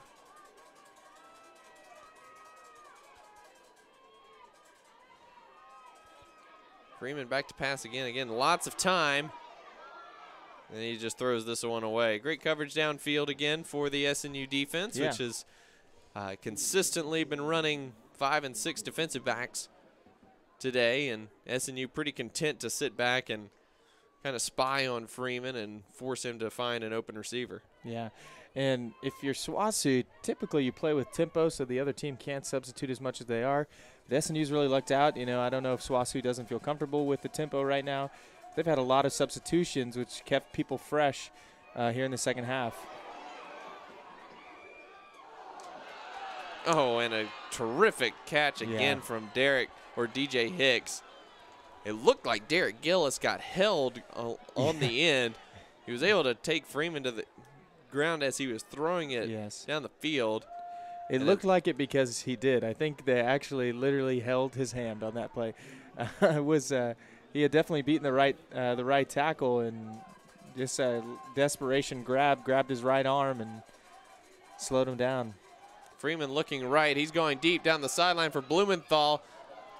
Good coverage from Harris, but it hit Blumenthal right in the chest, and he dropped it. It's a good break for SNU there. It'll be second and 10 from the SNU 48 yard line. And going back to the previous play, DJ Hicks was able to make that reception on a deflection. It looked like Jaquel Davis uh, was able to get a hand on it, but Hicks was able to adjust in midair and make the catch before the ball hit the ground. Freeman looking left, going to Blumenthal again. Back shoulder throw, and he is out of bounds. That will be incomplete. Yeah, the official's hat was down, so he had stepped out before he even caught the ball. Um, not a force out, just an incomplete pass, which third and third and ten for SNU. You know, it seems so funny that in the first quarter we were talking about how difficult these third downs were for the Crimson Storm, and now we're looking at a third down that really seems more manageable and seems like they could they could force a punt right here. So third and 10 on the SNU 48 yard line. Two wide receivers to either side with Knowles to the right of Freeman.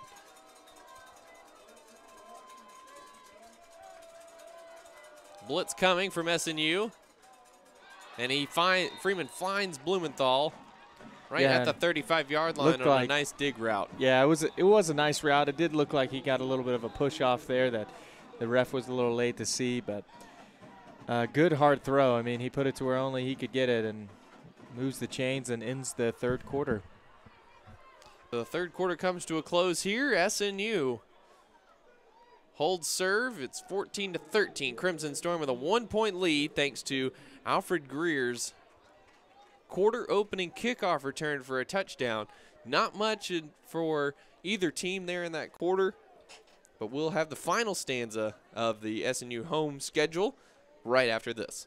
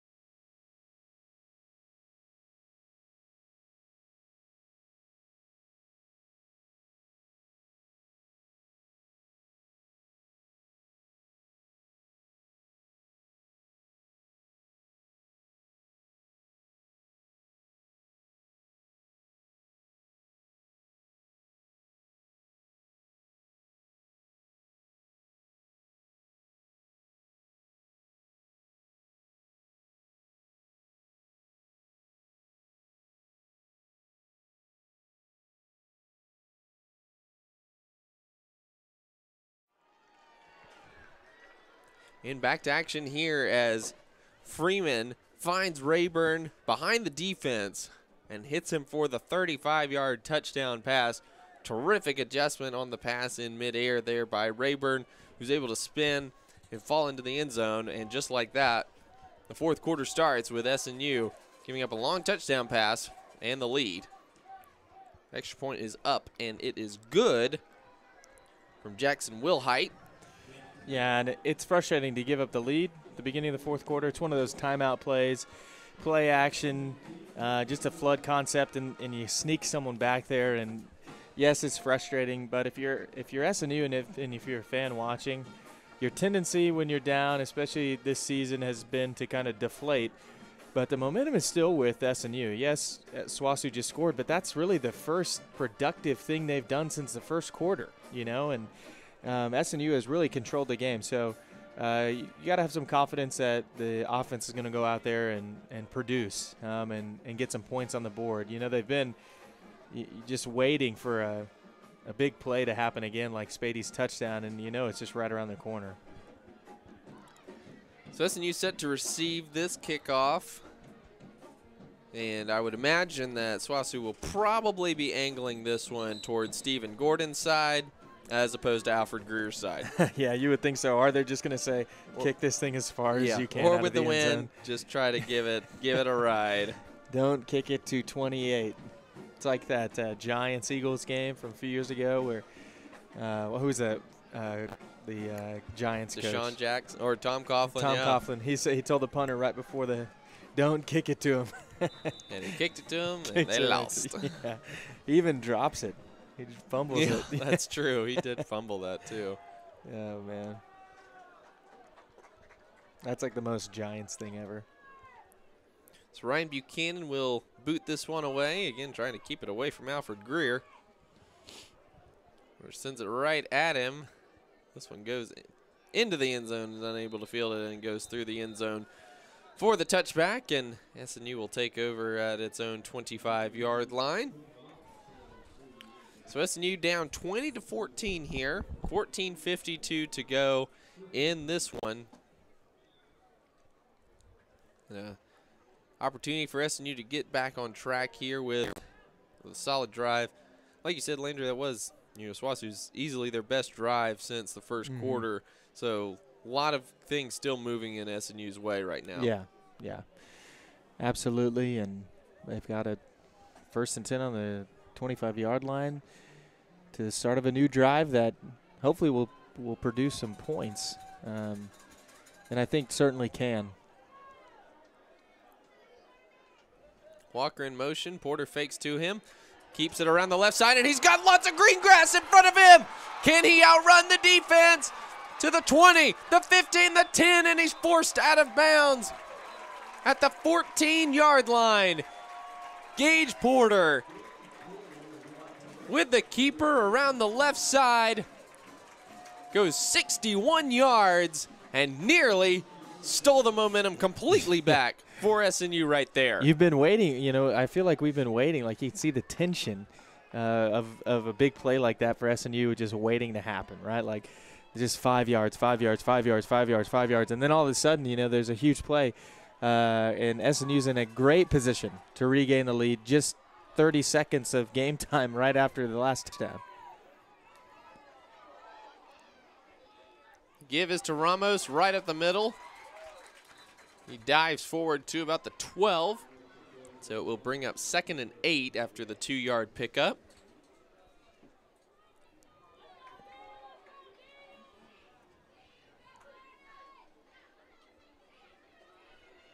I would imagine we will probably see a lot of running or a lot of Ramos here, or maybe even a pass or 2 to mm-hmm. allow Porter to get his breath back after Yeah. that 60 plus yard jaunt.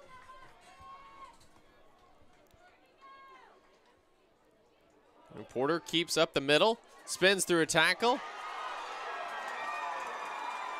I believe he fumbled the football, and Jacoby Hicks picked it up I think and took exactly it right. into the end zone.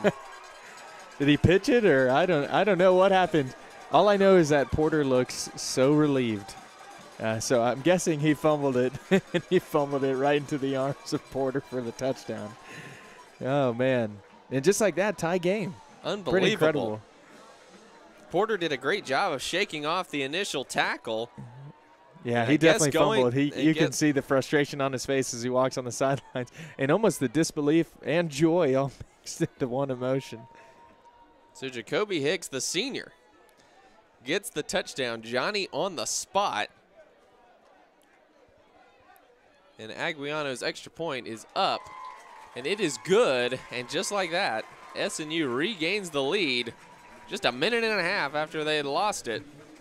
It's like we're watching Texas Tech. And now, yeah, now we have entered into a little bit of unfamiliar territory as far as big plays swinging one way and another.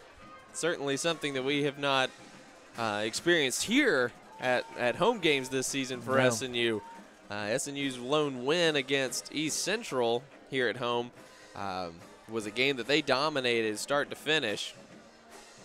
But you can see, you know, the momentum from Northwestern just swinging with this game. There's definitely some confidence. There's definitely um, some some more trust in in the schemes that the coaches have designed, and it's really worked out well. Um, now defensively, you got to bounce back from that touchdown, you know, and the touchdown for your offense helps, but uh, but getting off the field um, and not giving up third third and tens and third and fifteens and um, and getting your offense back on the field where they control the clock the rest of this fourth quarter. SNU's lone kickoff into the wind in the second quarter was a short pooch kick. It'll be interesting to see what they do now. It looks like the wind wind is still uh, pretty strong out there. It looks like it might have dropped off just a little bit, maybe. Um, at least not as consistently strong. And it looks like SWOSU has adjusted a little bit as far as their alignment goes. They now have three people on that second line as opposed to just the one in the middle earlier. Aguiano set to kick this one off. He will pooch it again in about the same spot and fair catch called for by Blumenthal at the 31 yard line. And that is where SWOSU will take over. Yeah, uh, the, that kick is really nice. Now you might you know you might be watching that and thinking, just kick it deep. He's got a strong foot, even into the wind. Uh, but that thing sits up there so high, and in fact, it almost tail tails back uh, because it's just sitting up there for so long. It becomes really, really hard to catch, um, and it makes the the returner just fair catch it and just cut his losses instead of trying to get a return out of it. So Freeman on the field here for SWOSU. Wide receiver either side. Two tight ends to the left. And a quick out to Rayburn, and that throw is wide and sails out of bounds incomplete.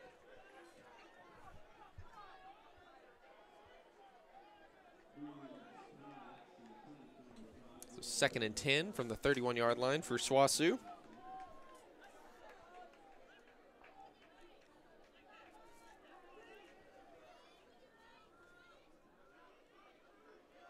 DJ Hicks lined up against Jaquel Davis over on the left side, and he's had a big day for, for SWOSU. Freeman looking deep down the middle. Pass sails over Rayburn, and there's a flag thrown. Yeah, and probably probably should have been thrown. There was a this should be a hold. I don't know if they call it a pass interference. If I'd agree with that, um, but and they are going to call that a hold, which makes the uncatchability of that pass. Yeah, which you know it's nothing. So it's good. It's only a five-yard penalty, but uh, still first down. Got Noah Campbell on that one. Campbell has been asked to do a little bit more coverage, and he's limping a little bit as well.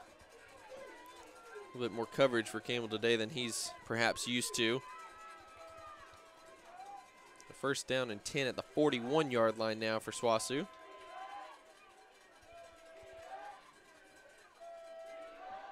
Freeman checks it down quickly to Anderson out of the backfield. He barrels through Jaquel Davis up to the 46 yard line. Mark it at about the 47. Pickup of about six on the play. We'll bring up second and four the clock ticks under 13 minutes to go in this one. SNU with a one-point lead, 21 to 20, over Southwestern Oklahoma State, whom the Crimson Storm have never beaten. Freeman back to pass. Ryan Lara in his face. He throws it up for grabs. Jaquel Davis unable to track that one down before it sails out of bounds. And that's that's another really close to uh, uh what what penalty am I thinking of, Luke? Grounding. Intentional, intentional grounding, yeah. I mean, he threw it well over 15 yards past his receiver. Now, I get that the route concept is there, but, but that for Freeman, you got SNU. Third down and four for the Crimson Storm from, or excuse me, for SWOSU from their own 47-yard line. Dylan Metter coming on the blitz. Quick out to Rayburn is caught breaks the tackle of Anthony Stevens and carries that down to the 43 yard line of SNU for the first down, pickup of 10 on third and four. Gives the Bulldogs first down and 10 at the SNU 43 yard line.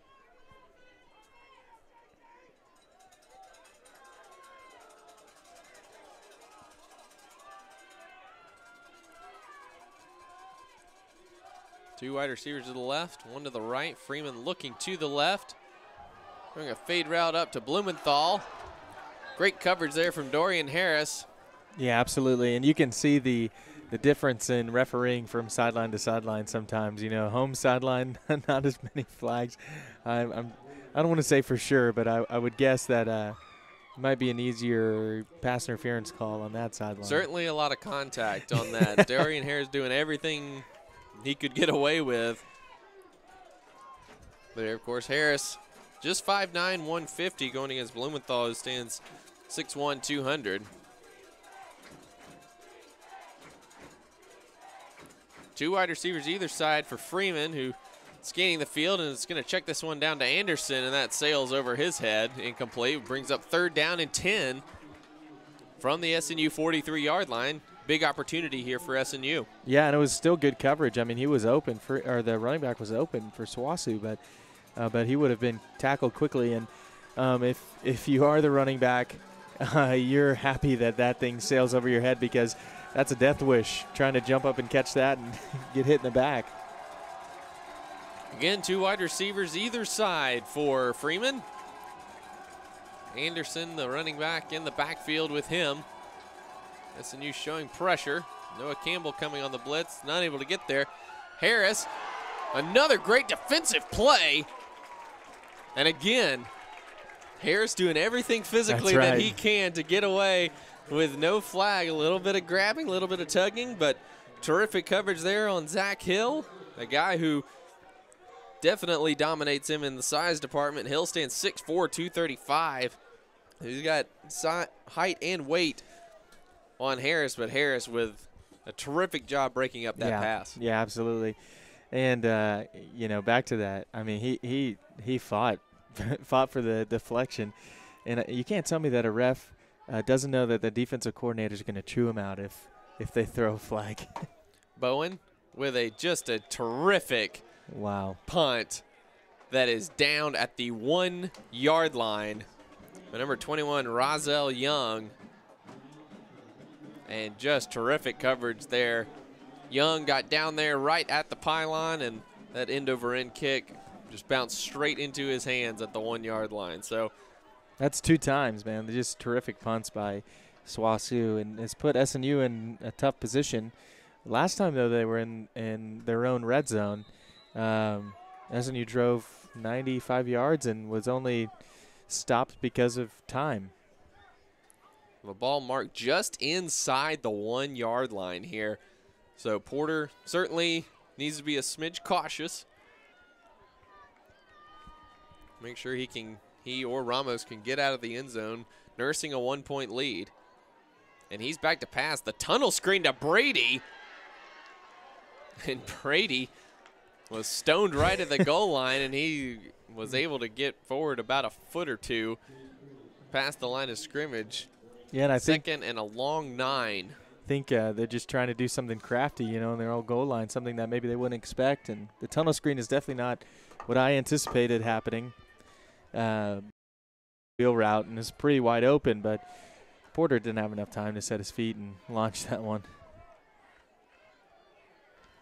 Yeah, we've we've seen ha, seen Porter has a propensity for bad things happening if he just kind of wheels and throws like a shortstop. Ramos motions out to the left. Porter fakes the screen to him and keeps it up the middle. Fumble the football, but Mark Henderson falls on it back at the four-yard line. Huge disaster averted there for SNU as Porter was rocked on the play. It looked like Kilpatrick, the outside linebacker, again.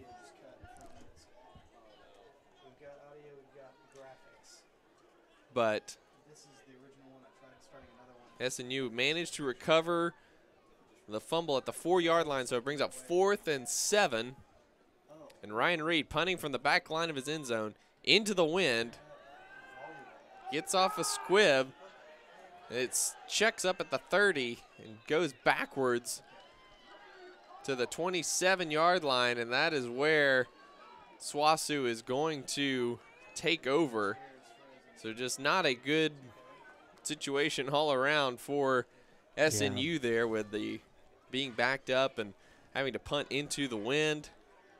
Not a terrific kick in any way, and they're actually going to mark this at the 26 yard line. So SNU's defense being called upon here to stand up and make a play, and with with the win, SWOSU very much in field goal range already. That would give them a two point lead, but SNU certainly trying to hold them to that at minimum, or at maximum, excuse me. Freeman back to pass, wheel route to Anderson, and just zoomed it right by him. Anderson, you know, more more of a bulky bag, listed at 5'10", 215. Um, you know, not probably the most likely to be catching bullets from Freeman. Yeah, and SNU very lucky that that was an incomplete pass because even though Flynn is in man coverage right there, he's he's late on that, and he catches that. There's nothing but green grass in front. Eight yard line. Rayburn in motion, and a timeout for SWOSU here. The play clock was running down. Big opportunity for SNU to make a stand and force SWOSU to uh, tipped on long field goal. It would be about a 45 yarder from this point, and certainly distance probably not as big of a factor with this wind, but you know 45 yards is 45 yards at, at this level and you know certainly not a not a gimme field goal so if SNU can hold strong and you know for no gain or short gain uh, or even a loss you know that would be certainly a good thing for the defense Yeah, yeah, man. Especially giving up your giving up the ball in your own 26. I mean, you couldn't ask for a worse position to start from, um, and now they're in a position to uh, potentially force a really difficult field goal for SWOSU. Um, so.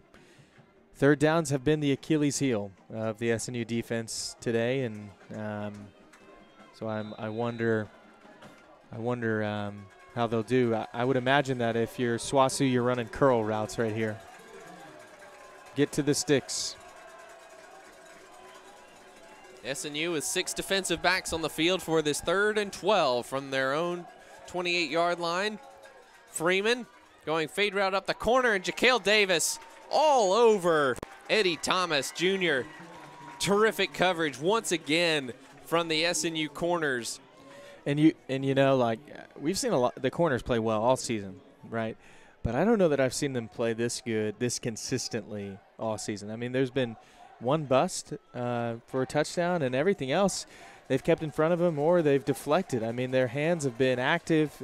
Uh, they've played really, really well. Every catch is a very competitive contested catch for SWOSU. Buchanan's field goal is on the way, and it is good from 45 yards out. Ryan Buchanan gives the Bulldogs a two point lead, 23 21. SWOSU regains the lead over the Crimson Storm, 8.38 to go. And this is shaping up to be a fantastic finish. We've been back and forth all day. Big plays on both sides. Um, you know, methodical clock controlling drives on both sides. So turnovers on both sides. Yeah. It's really been about as even of a matchup as we've seen all year, Landry. Yeah, yeah, and it. I think a lot, a lot of it has to do with SNU's playing up to their capabilities. You know, you hate to just talk about their capabilities. You just hate, you hate to talk about potential.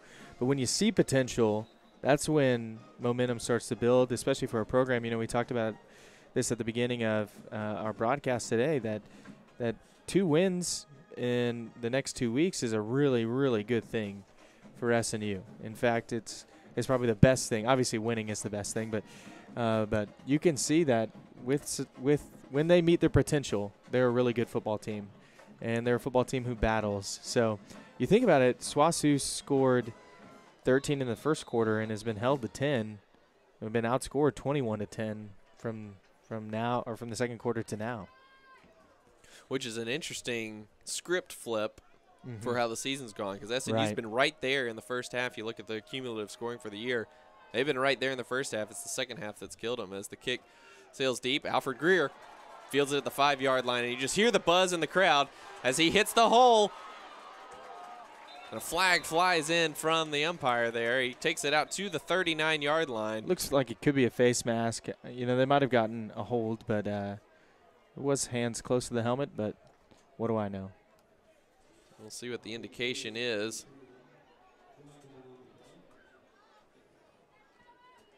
They're looking for a number from SNU, so it looks like it's going to be a hold. I would imagine it was a hold or a block in the back.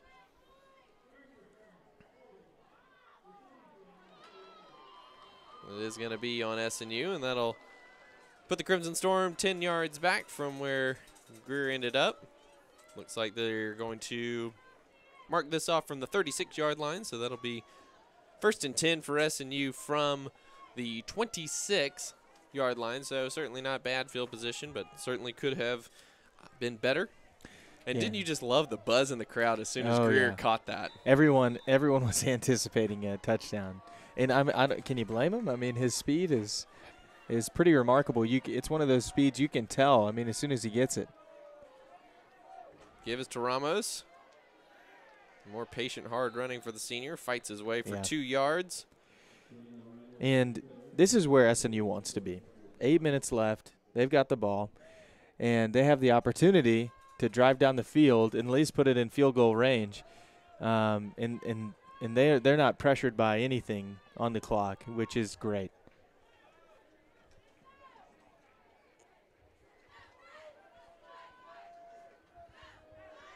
Again, pretty much the entire same personnel all game long for the Crimson Storm as far as skill positions go. Fakes the give to Walker around the right side. Porter carries up ahead for about one to the 30. It's going to bring up third and six. Brady, Walker, Hooper, Hicks, and Ramos have basically gone the distance for SNU from a skill position standpoint. Greer was in the game for one play in the first quarter. He fumbled a pitch, and that's that's really been it for SNU as mm-hmm. far as personnel goes on offense.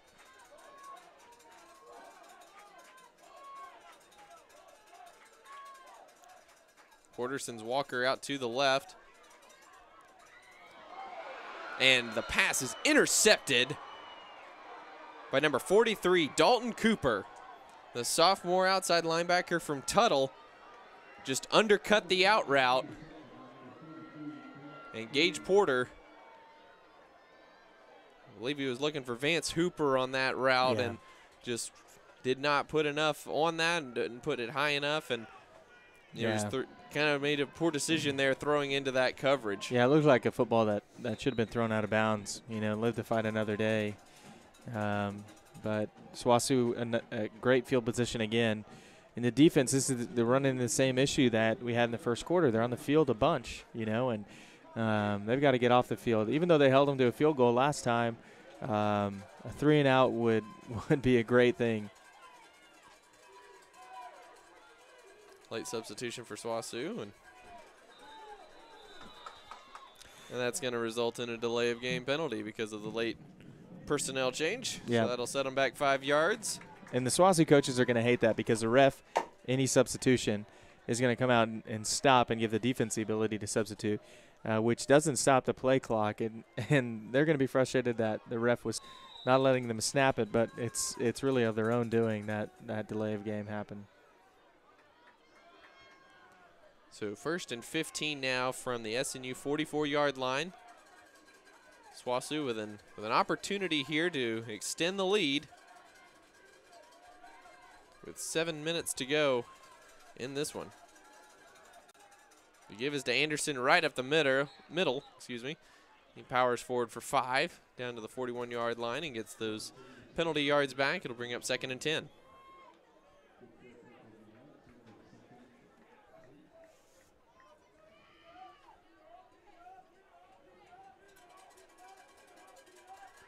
Two wide receivers either side for Freeman, who has Anderson to his right.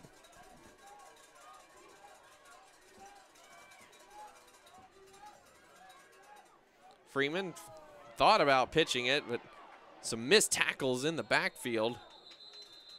And Freeman is able to pick up four, which is going to bring up a third and six. we got a little bit yeah, of uh, flopping. flopping and pushing and shoving. And This is NBA. I guess he'd get a he'd get fined. yeah, huh? Rayburn looking like he's Ron Artest or something up there flopping around. A third and six from the 35 yard line. Big opportunity here for SNU. Probably four down territory if you're SWOSU. Freeman thought about going down the middle, and it's knocked away by Trenton Smith. Pass was intended for 87, Alex Ramirez. It's going to bring up fourth and six and a little bit of decision time for for SWOSU. And don't be surprised. Oh, they're going. Uh, yeah, they're going for it right here. Taking out the heavy personnel and two two wide receivers. I wouldn't be surprised if you just see a hard count right here. Um, however, SWOSU has had has been really effective on fourth down. So Huge play here for the Crimson Storm. Clock at 5:37.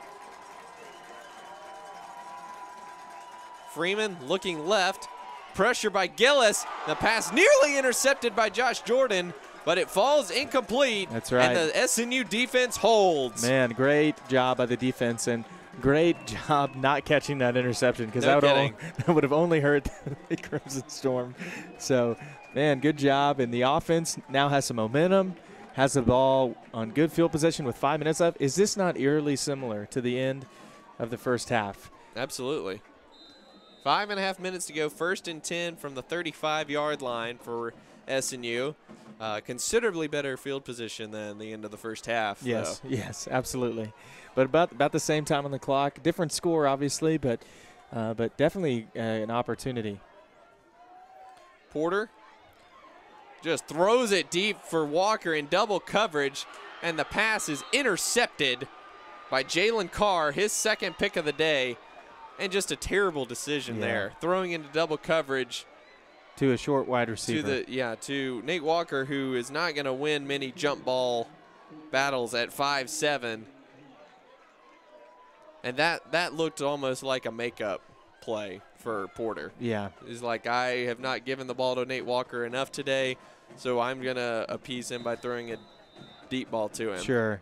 And Jalen Carr though made a sensational interception. Yes, yeah, Uh, and just reached right over the top of Walker and plucked it right off his head. yes, and it wasn't like Nate Walker didn't have an opportunity. It wasn't. It wasn't a terrible throw. It's the decision that was the issue. Yes. You know, you just can't throw a, a fade route into to clear cover two. So SWOSU back on the field. That's the fourth interception for Porter today. Yeah, false. You got a false start on the left tackle right here. Went just a hair early, which helps SNU. And something that's kind of interesting is that it seemed like SNU's primary success offensively came when Hunter Jones was at right tackle and mm-hmm. Joey Carrion was at center. But the last three possessions, it's been the Jones at center and Mark Henderson at right tackle combination. Mm-hmm. Something to it's kind of been interesting to see. Yeah, and you know we don't, you know we're not, we don't know the schemes as well as obviously the coaches do. So there could be, could be busts, could be missed blocks, misreads, or something like that, uh, that would prevent them from going with what what we've seen as kind of the successful lineup.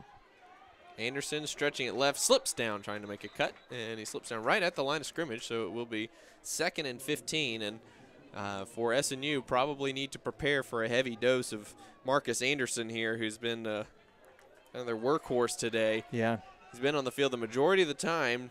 Uh, leading rusher Jaden Knowles, who came into today, uh, 306 yards on the ground, um, has not seen the field much since the first quarter, really, as Marcus Anderson has carried the done the brunt of the work for the Bulldogs.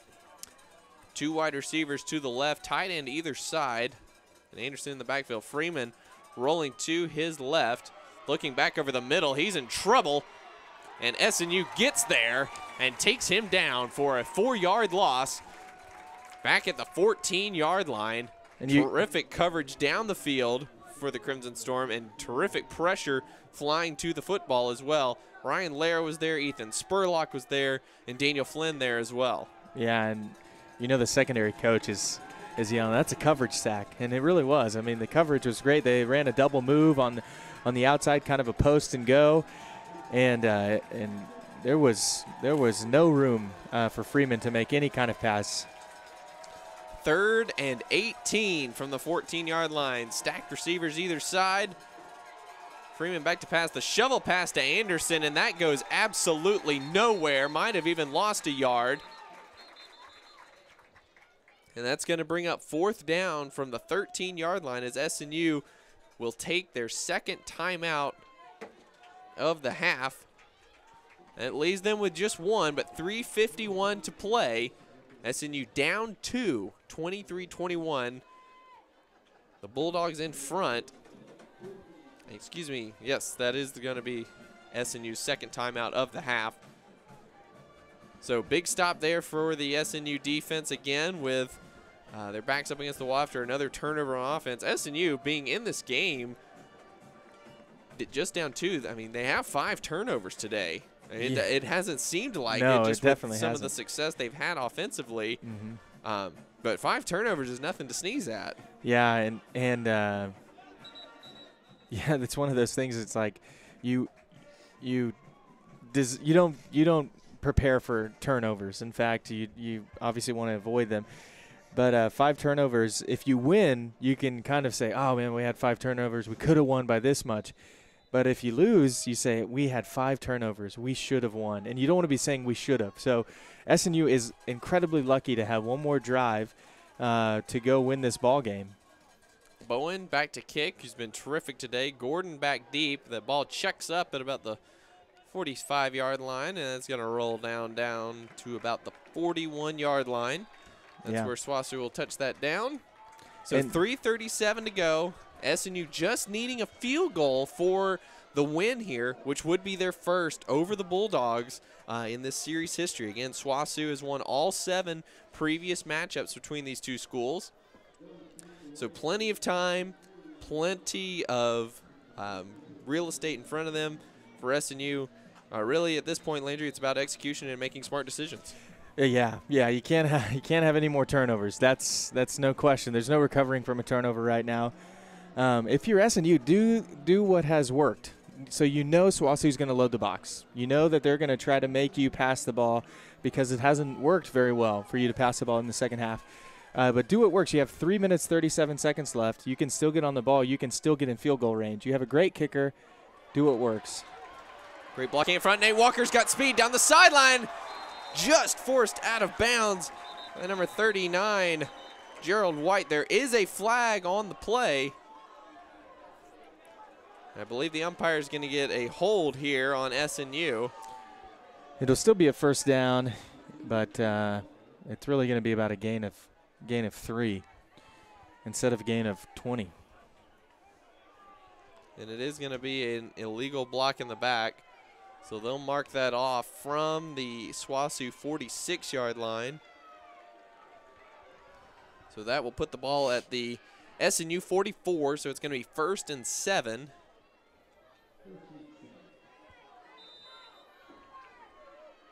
Negating what was a terrific play to Nate Walker, who And the clock is running. burst through the some blocks and got down the field quickly. And just as we were mentioning on that last possession, the offensive line combinations, Carrion's at center and Hunter Jones is out at right tackle. Porter looked like a little bit of a broken play trying to get to the outside, and he's finally smacked down at the 49 yard line by Clay Wilkerson. Yeah, it was definitely a designed quarterback, you know, kind of counter or, or power of some kind. Uh, but what looked like it probably should have hit inside, kept stretching outside, but still a good gain. Two minutes, 48 seconds left. What do you think, Luke? 25 for field goal, get to the 25 yard line? Or you got to be closer the wind has definitely died down. 25 would be about a 42 yarder. So I'd you know probably try to get to the 20. Porter.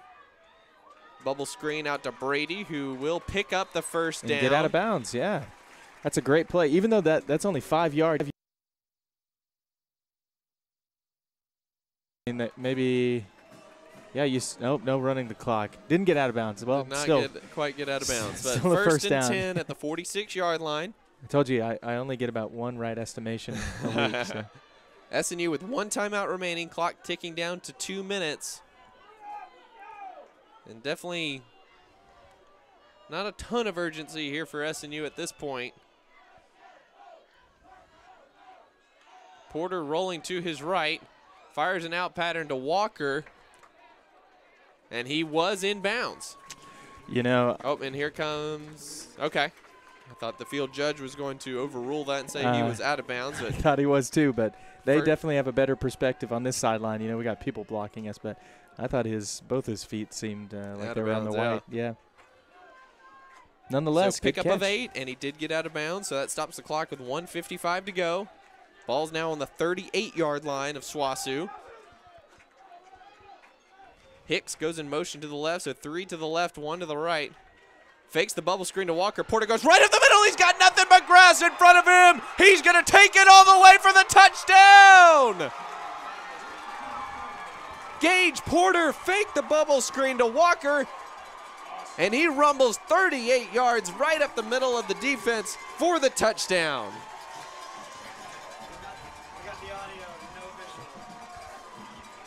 Man, it was an incredible play. They've been running the bubble screen. Coming drive.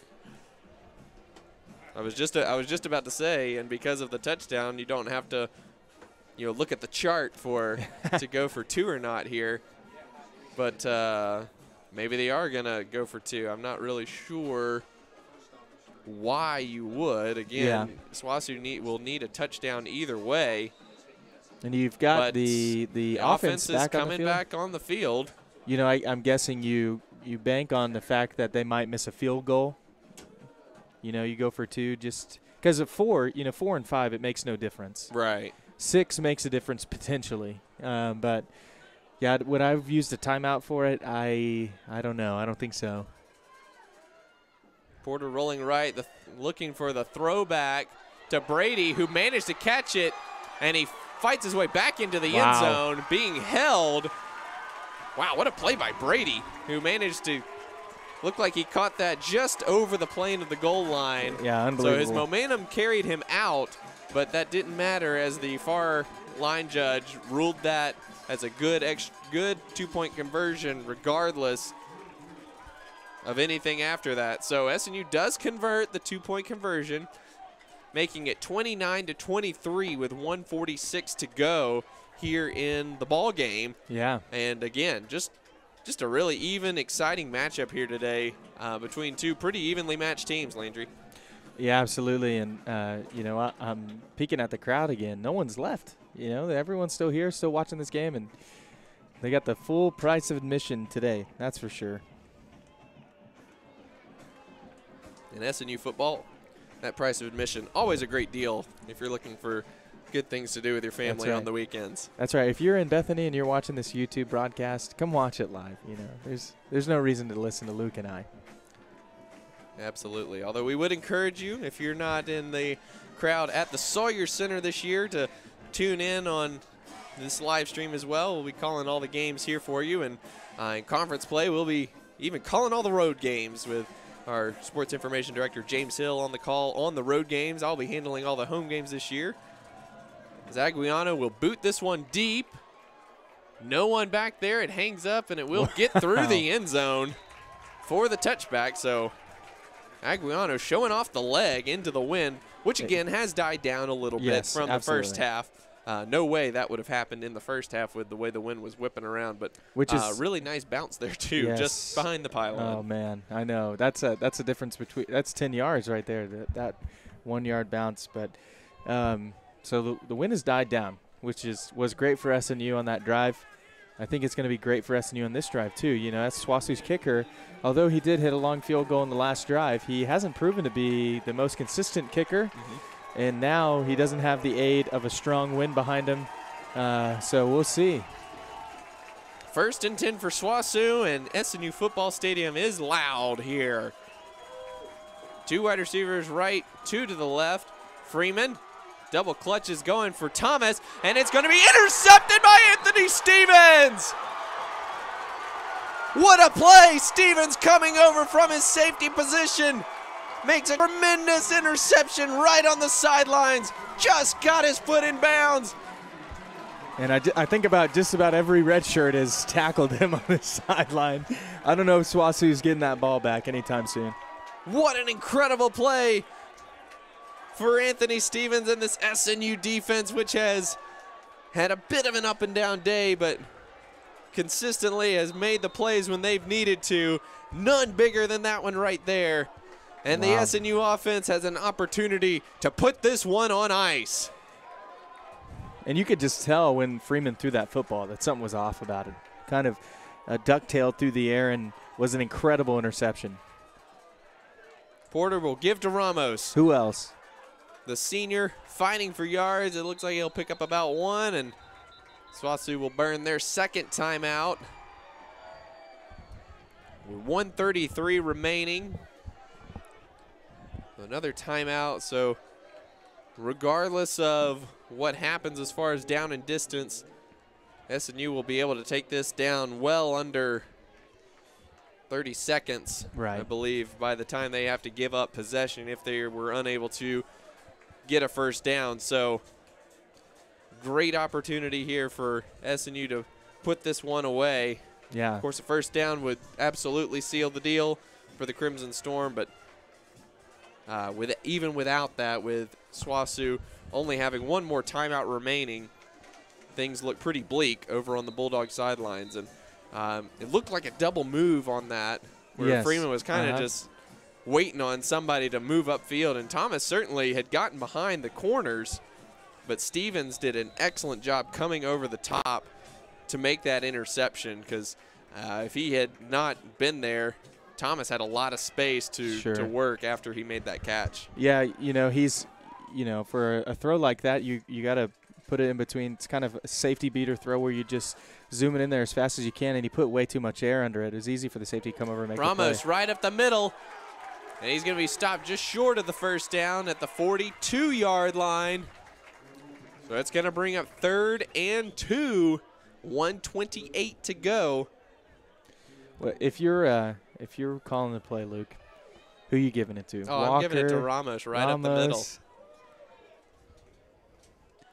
You know, this again, this this combination on the offensive line we've seen all day, I think has been more successful in this aspect. Sure. With the power Yeah. run game, with the running back, um, you know, I think has they they've just been more successful for Yeah. for whatever reason, whether it's you know Jones' versatility on, at right tackle, being able to pull, um, you know, basically having some a lot more nimble guys up front. I think we've been able to see that this this offensive line combination was able to get the job done in between the tackles a little bit Yeah. more than when uh, Mark Henderson was at right tackle and Jones was at center. Yes. And again, that's nothing, certainly nothing against Mark Henderson. He's played really well today, uh, right tackle, being called on, you know, these last couple weeks in dire circumstances because of injuries. But um, you know, this combination that's out there right now with Carrion at center and Jones over at right tackle has just gotten the job done a little bit more. So third and two. Ramos to the left of Porter. Walker goes in motion to the left. And it's going to be Porter calling his own number, bulling his way forward, and he's going to be stopped short at the 41 yard line. So the clock will continue to move. And it looks like Okay. SNU will be able to take this down to about 35 seconds or so before they have to make a fourth down decision or do anything on fourth down. And SNU obviously will take let this run all the way out and take the delay of game penalty. yes, I mean, do you go for it? Do you try to ice it right here? I mean, do you you do something like that? well, I mean, if you're going to go for it, you need to run the play. right. You can't. You wouldn't take the delay of game. I guess then, that's true. then go for it. So it looks like they're just going to take the delay of game penalty and leave it on their defense to shut down SWOSU one more time. 36.8 seconds. Missed it by a second and a half. So 36.8 seconds on the clock now as SNU will take the delay of game penalty, pushes it back to the 46 yard line as Ryan Reed will come on to kick and try to pin SWOSU back deep. Again, SWOSU, no timeouts remaining. They do need a touchdown and the extra point in order to pull this one out. And you got to believe that SWOSU will be bringing the house here. Yeah. Yeah, you're not doing this punt block. no safe punt on this one.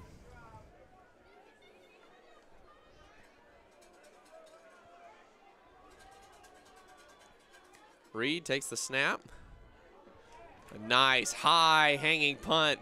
Carr will have to take the fair catch at the 10 yard line. Beautiful punt there. Probably five second hang time or close to it. I mean, Yep. that play started at 38 and ended with 30. I mean, tremendous. It couldn't ask for a better punt than that. Absolutely. Great job by Ryan Reed coming up with his best punt of the day when they needed it most. So SNU 30 seconds away from their first winning streak of the season and their first win over SWOSU ever. They lead the Bulldogs 29-23. And you know this secondary, all six defensive backs on the field right now Yeah. Plus some. looking to shut down the Bulldogs one last time. Freeman takes the snap. He's looking to the right. And it's going to be Oh. intercepted. Jakael Davis. He takes it to the house. And that is going to be it. What a way to finish for the Crimson Storm.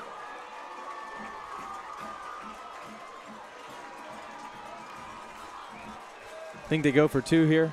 Just kidding. Oh, yeah. Run it up. I don't know. You probably want a full 14 point margin here, don't you? That's right. Yeah, if it's high school football, you're trying to get those 15 points. They really are actually going for two here. Oh, okay.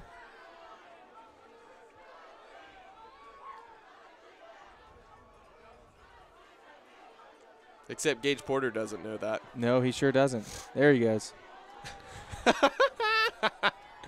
Gage Porter. Yeah. Everybody is set on offense except for Gage Porter. He's going to take a running snap here, or they're just going to take a Snap it before he said. That was that was sensational. Is there The entire offense was set, and the quarterback was not on the field. you never see that again. No, I've never seen that. Period. Uh, all right, Luke, you're gonna have to help me understand why you'd go for two. Um, I couldn't.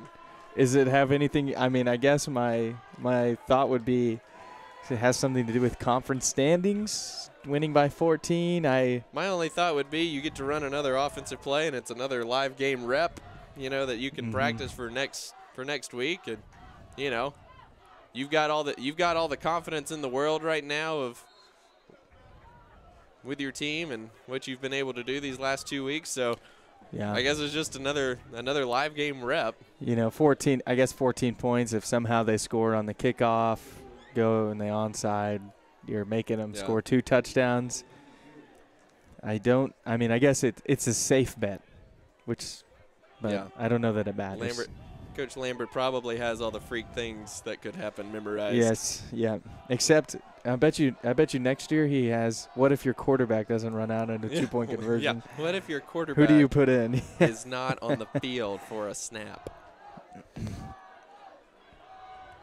So SNU, in dramatic fashion, going to get their first win over Southwestern Oklahoma State. It's going to be their third win of the season, their second win here at home. And it's going to be a very, very confident bunch going to Shawnee next week to take on Oklahoma Baptist in the season finale. Zaguiano tees this one up one last time for today.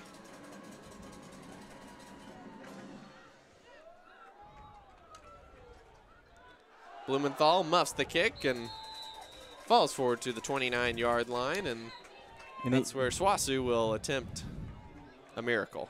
yeah, and that that kickoff was symbolic of SWOSU's last two minutes of this game. I mean, just we're we're up by two two points, and and now it seems like SNU has just dismantled them in Yeah. just two minutes of football.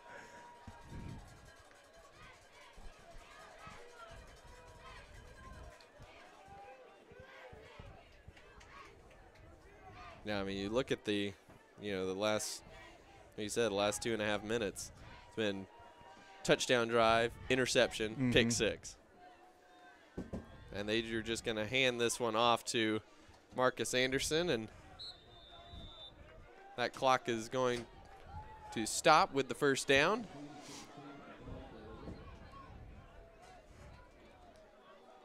As the clock moves with the chain set, this should be the final play of the game. And another handoff to Anderson right up the middle, and it's Ethan Spurlock with the final tackle, and that'll do it from SNU Football Stadium. Final score the Crimson Storm come out with a thrilling and dramatic 35 23 win over Southwestern Oklahoma State. Crimson Storm moved to 3 and 7 this season in overall and in conference play. And it's the first win for Southern Nazarene over the Bulldogs of Southwestern Oklahoma State.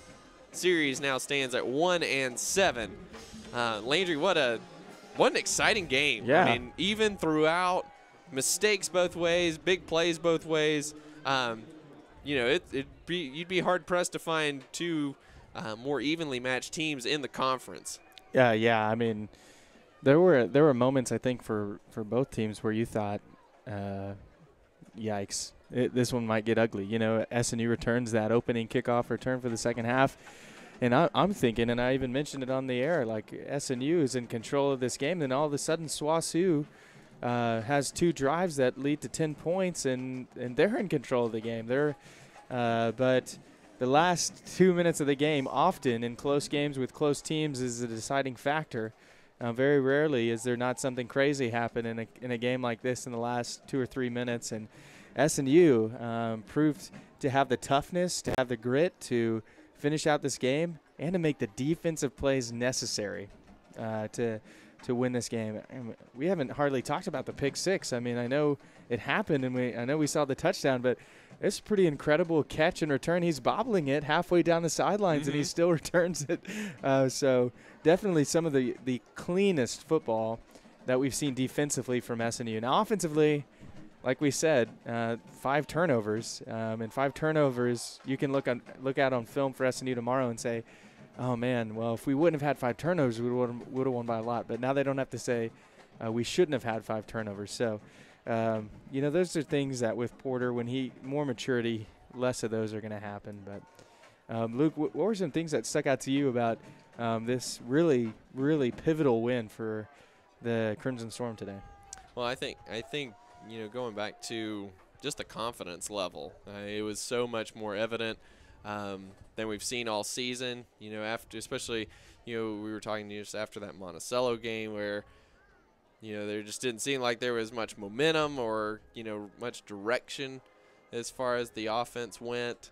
Um, you know, but then today just a completely different animal, and it's amazing what um, really one one quarter of football can do for you. Um, Mhm. You know, the, you look back at the fourth quarter of um, last week's game against Northwestern, and you know, really SNU will probably be able to point to that as um, you know, kind of a turning point for Yeah. for their season. Um, you know, I mean, regardless of the turning point being just for the last three games, but it's still you know a turning point that allowed them to you know, create a lot of momentum, come up with a big win today, and have a ton of confidence uh, going to Oklahoma Baptist. And you know, year to year, that that's huge for this for this program. That's you know still growing, still uh, trying to get acclimated to uh, Division Two, and still making those strides under uh, Coach Lambert. And you know, I think that that that seeing the confidence in person today was.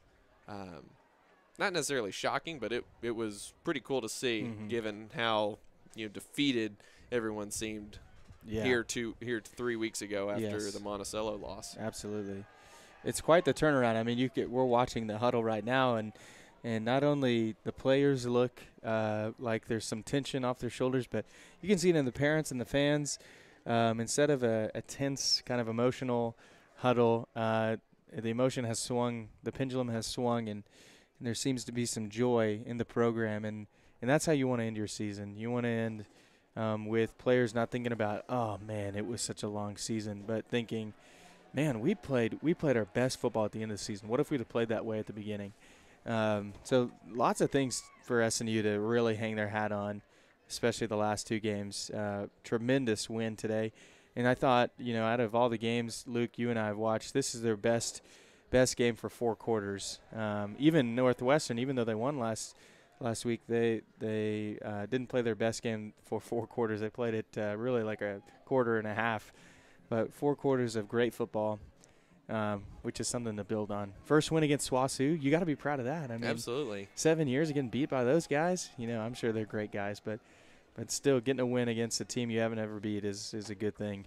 Well, and you just look at you look at the history of this series um, as a very small indicator of uh, just the progress SNU's made. You know, in 2015, SNU went to Weatherford and lost 73 to seven. you know, two years ago here, lost 35 to 14. Last year there, lost 20 to 17 on a walk-off blocked field goal that would have tied the game. And now here you are winning the game. I mean, if if that four game stretch for in in just this series doesn't um, kind of uh, exemplify the progress that SNU is making as a program, I'm not really sure what else would. So very very cool uh, to see that, and you know as you you know are looking at the post game huddle there, um, you know the attitudes are so much different, and you know a lot of excitement amongst the players. You know, two you know three weeks ago, dead silence. No, Yeah. mu- no music playing, nothing happening. It was just Coach Lambert trying Just to build talking. his guys up, and, And now it's One thing I, I clapping noticed. and laughing and cheering, and That's- it's crazy. Look how much closer all the parents are. Usually it's kind of an awkward distance between parents and players. But you can't some sometimes I can't even tell whi- which one's a coach and which one's a parent. So obviously uh, there's a different vibe. Uh, winning cures a lot of pains, Luke. It Winning does. cures a it lot really of pains. does. Uh, let's run through some of the post game stats here. Um, you know, and this this game really kind of also exemplifies the the impact that Gage Porter can have on on this team, um, and both good and good and Right. bad, Yeah. if you will.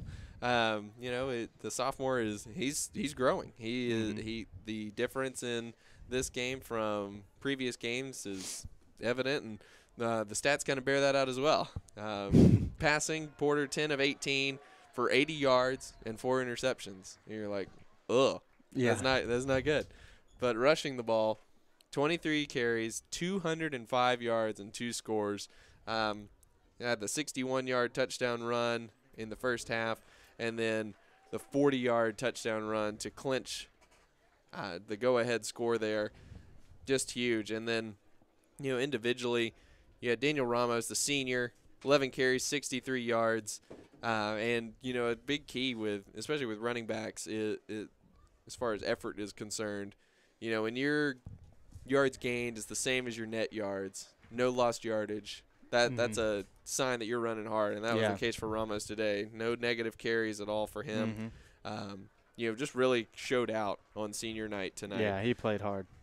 Um, receiving, Devin Brady caught eight of Porter's 10 passes, eight catches for 59 yards. He caught the two point conversion there at the, um, you know, there to put the Crimson Storm up 29 23. And, um, you know, Jacoby Hicks with the statistical anomaly of having gained seven yards rushing with a touchdown, but no official carries Right. due to the fum- recovered fumble that Porter had there in the there in the fourth quarter. Or was it a pitch? Who knows? Yeah. Who knows? No one will ever know. So that's for SNU. Defensively, SNU just so many so many good things to to look at. Miles Roll led the team with 12 tackles again. Uh, a couple sacks from a couple different guys. Flynn, Campbell, and Zach Lloyd all were able to uh, to get one there. And then as far as interceptions go, Jaquels Davis had two of them. The and then the 26-yard interception return for a touchdown that sealed the deal. And Anthony Stevens with the with the clinching interception as well on the previous possession, um, which was just uh, just really cool to see. Uh, for SWOSU, offensively, Freeman was just 17 of 36 for 209 yards, one touchdown, then those three interceptions. And this uh, just a week after he threw for 476 yards against Right. Oklahoma Baptist. Just really shows you the the um, you know the pressure that SNU can put on your passing game with this secondary. Um, you know they had the three sacks, and if they had you know we're running more blitzes or three man fronts, it would have been a heck of a lot more than that. Mm-hmm. Absolutely would have been more than that because there were times where Freeman was just camped back there in the in the backfield for six, seven seconds looking for someone to throw or trying to do anything. Yeah. Uh, it just was there were no open guys downfield. DJ Hicks led um, the Bulldogs in receiving, five receptions, 82 yards. Rayburn finished with four catches for 71 yards. Thomas, two catches, 20 yards. And Rayburn did have the long 35 yard touchdown pass to start the fourth quarter as well that gave SWOSU the lead. Uh, as far as rushing goes, Marcus Anderson, 15 carries, 78 yards. Knowles had 11 carries, 28 yards, excuse me, 22 yards. Did have those two scores in the first quarter, but we didn't really see much of him after uh, after the first quarter. Knowles had uh, one carry in the second half as Anderson Hmm. carried the bulk of the load in the second half. Freeman finished with 19 yards rushing on nine attempts. Um, and then, of course, the big fumble for SWOSU as well from, from Tyler Marr there in the uh, fourth quarter as well. As far as uh, the interceptions go, Jalen Carr had two of them. Uh, Cooper had one, and uh, Jennings had one in the first quarter before he was ejected for targeting in the in the second quarter. Jennings did run that one back 29 yards. So um, again, like we like we've talked about, overall a very very even game, very back and forth game. Um, you know what what stood out to you as the biggest key for SNU's win today? Uh, yeah, they well they had momentum and they had rhythm and they played like they could win the game. And you know, I mean, even you think to Monticello, it wasn't out of reach, you know, uh, for a lot, a lot, a big portion of the game, but it definitely felt like they thought it was out of reach. And um, and today, even when SNU got down on several occasions, uh, there was something in the air that that they still had a chance and they still could make something happen. So. Um, kind of as a scapegoat answer, I think they, they actually believe that they could win, you know, and that makes a big difference. It makes you block better, makes you do all those little things, those intangibles. Um, but I think defensively, the most, the probably the most tangible thing you could say is that defensively they played probably their best game they've played all season, um, and and that helped them stay in the game and win the game. What do you think, Lou? Absolutely, Com- I you know I completely agree. And I think it'll be interesting to see what uh, what next week holds. You know, season finale, an opportunity to match last last season's win total, something that we never would have really dreamed about three weeks ago. Uh, watching that performance against Monticello, and you know here they are potentially to end the season on a three-game winning streak and finish four and seven for for the second straight year, which would be a Yeah. huge accomplishment uh, for this Crimson Storm program. So uh, that's that's going to do it for us today. Uh, again, the final score 35 to 23. SNU gets their first win over SWOSU and their second win in a row. They wrap up the season next week in Shawnee against Oklahoma Baptist. Uh, that kickoff is set for 2 p.m., I believe. And uh, the Crimson Storm will again look to end the season on a three-game win streak. Uh, that's going to do it for us this season. As far as our roles as calling calling games for SNU, Landry, we've had a lot of fun doing this. yeah, it's been great. so we look forward to being back with you next season, hopefully, if they'll have us back. And uh, but for now, you can tune in uh, on the same um, same methodology and listen to us for uh, SNU basketball games as the SNU men look to be ranked in the top 10 to start the season. It should be a very exciting year for the Crimson Storm on that side and Coach Adam Bohotch's crew. And then uh, new era for the women's basketball program under new head coach Trent May. Should be exciting to see and to, to be a part of that. So we encourage you to come out to the Sawyer Center, but if you're unable to, to do so and support in person, certainly encourage you to uh, listen along these airwaves. As again, we'll we'll have all home games for both men and women. I'll be on the call for all of those, and uh, Sports Information Director James Hill will be on the call for uh, the road games this year. So we've got you covered uh, for all basketball games this season right here on uh, the SNU live stream, and we look forward to to bringing that action to you. So again, your final score from SNU Football Stadium: Crimson Storm 35, SWOSU Bulldogs 23. For Landry Franks, I'm Luke McConnell. Thank you very much, and have a great day.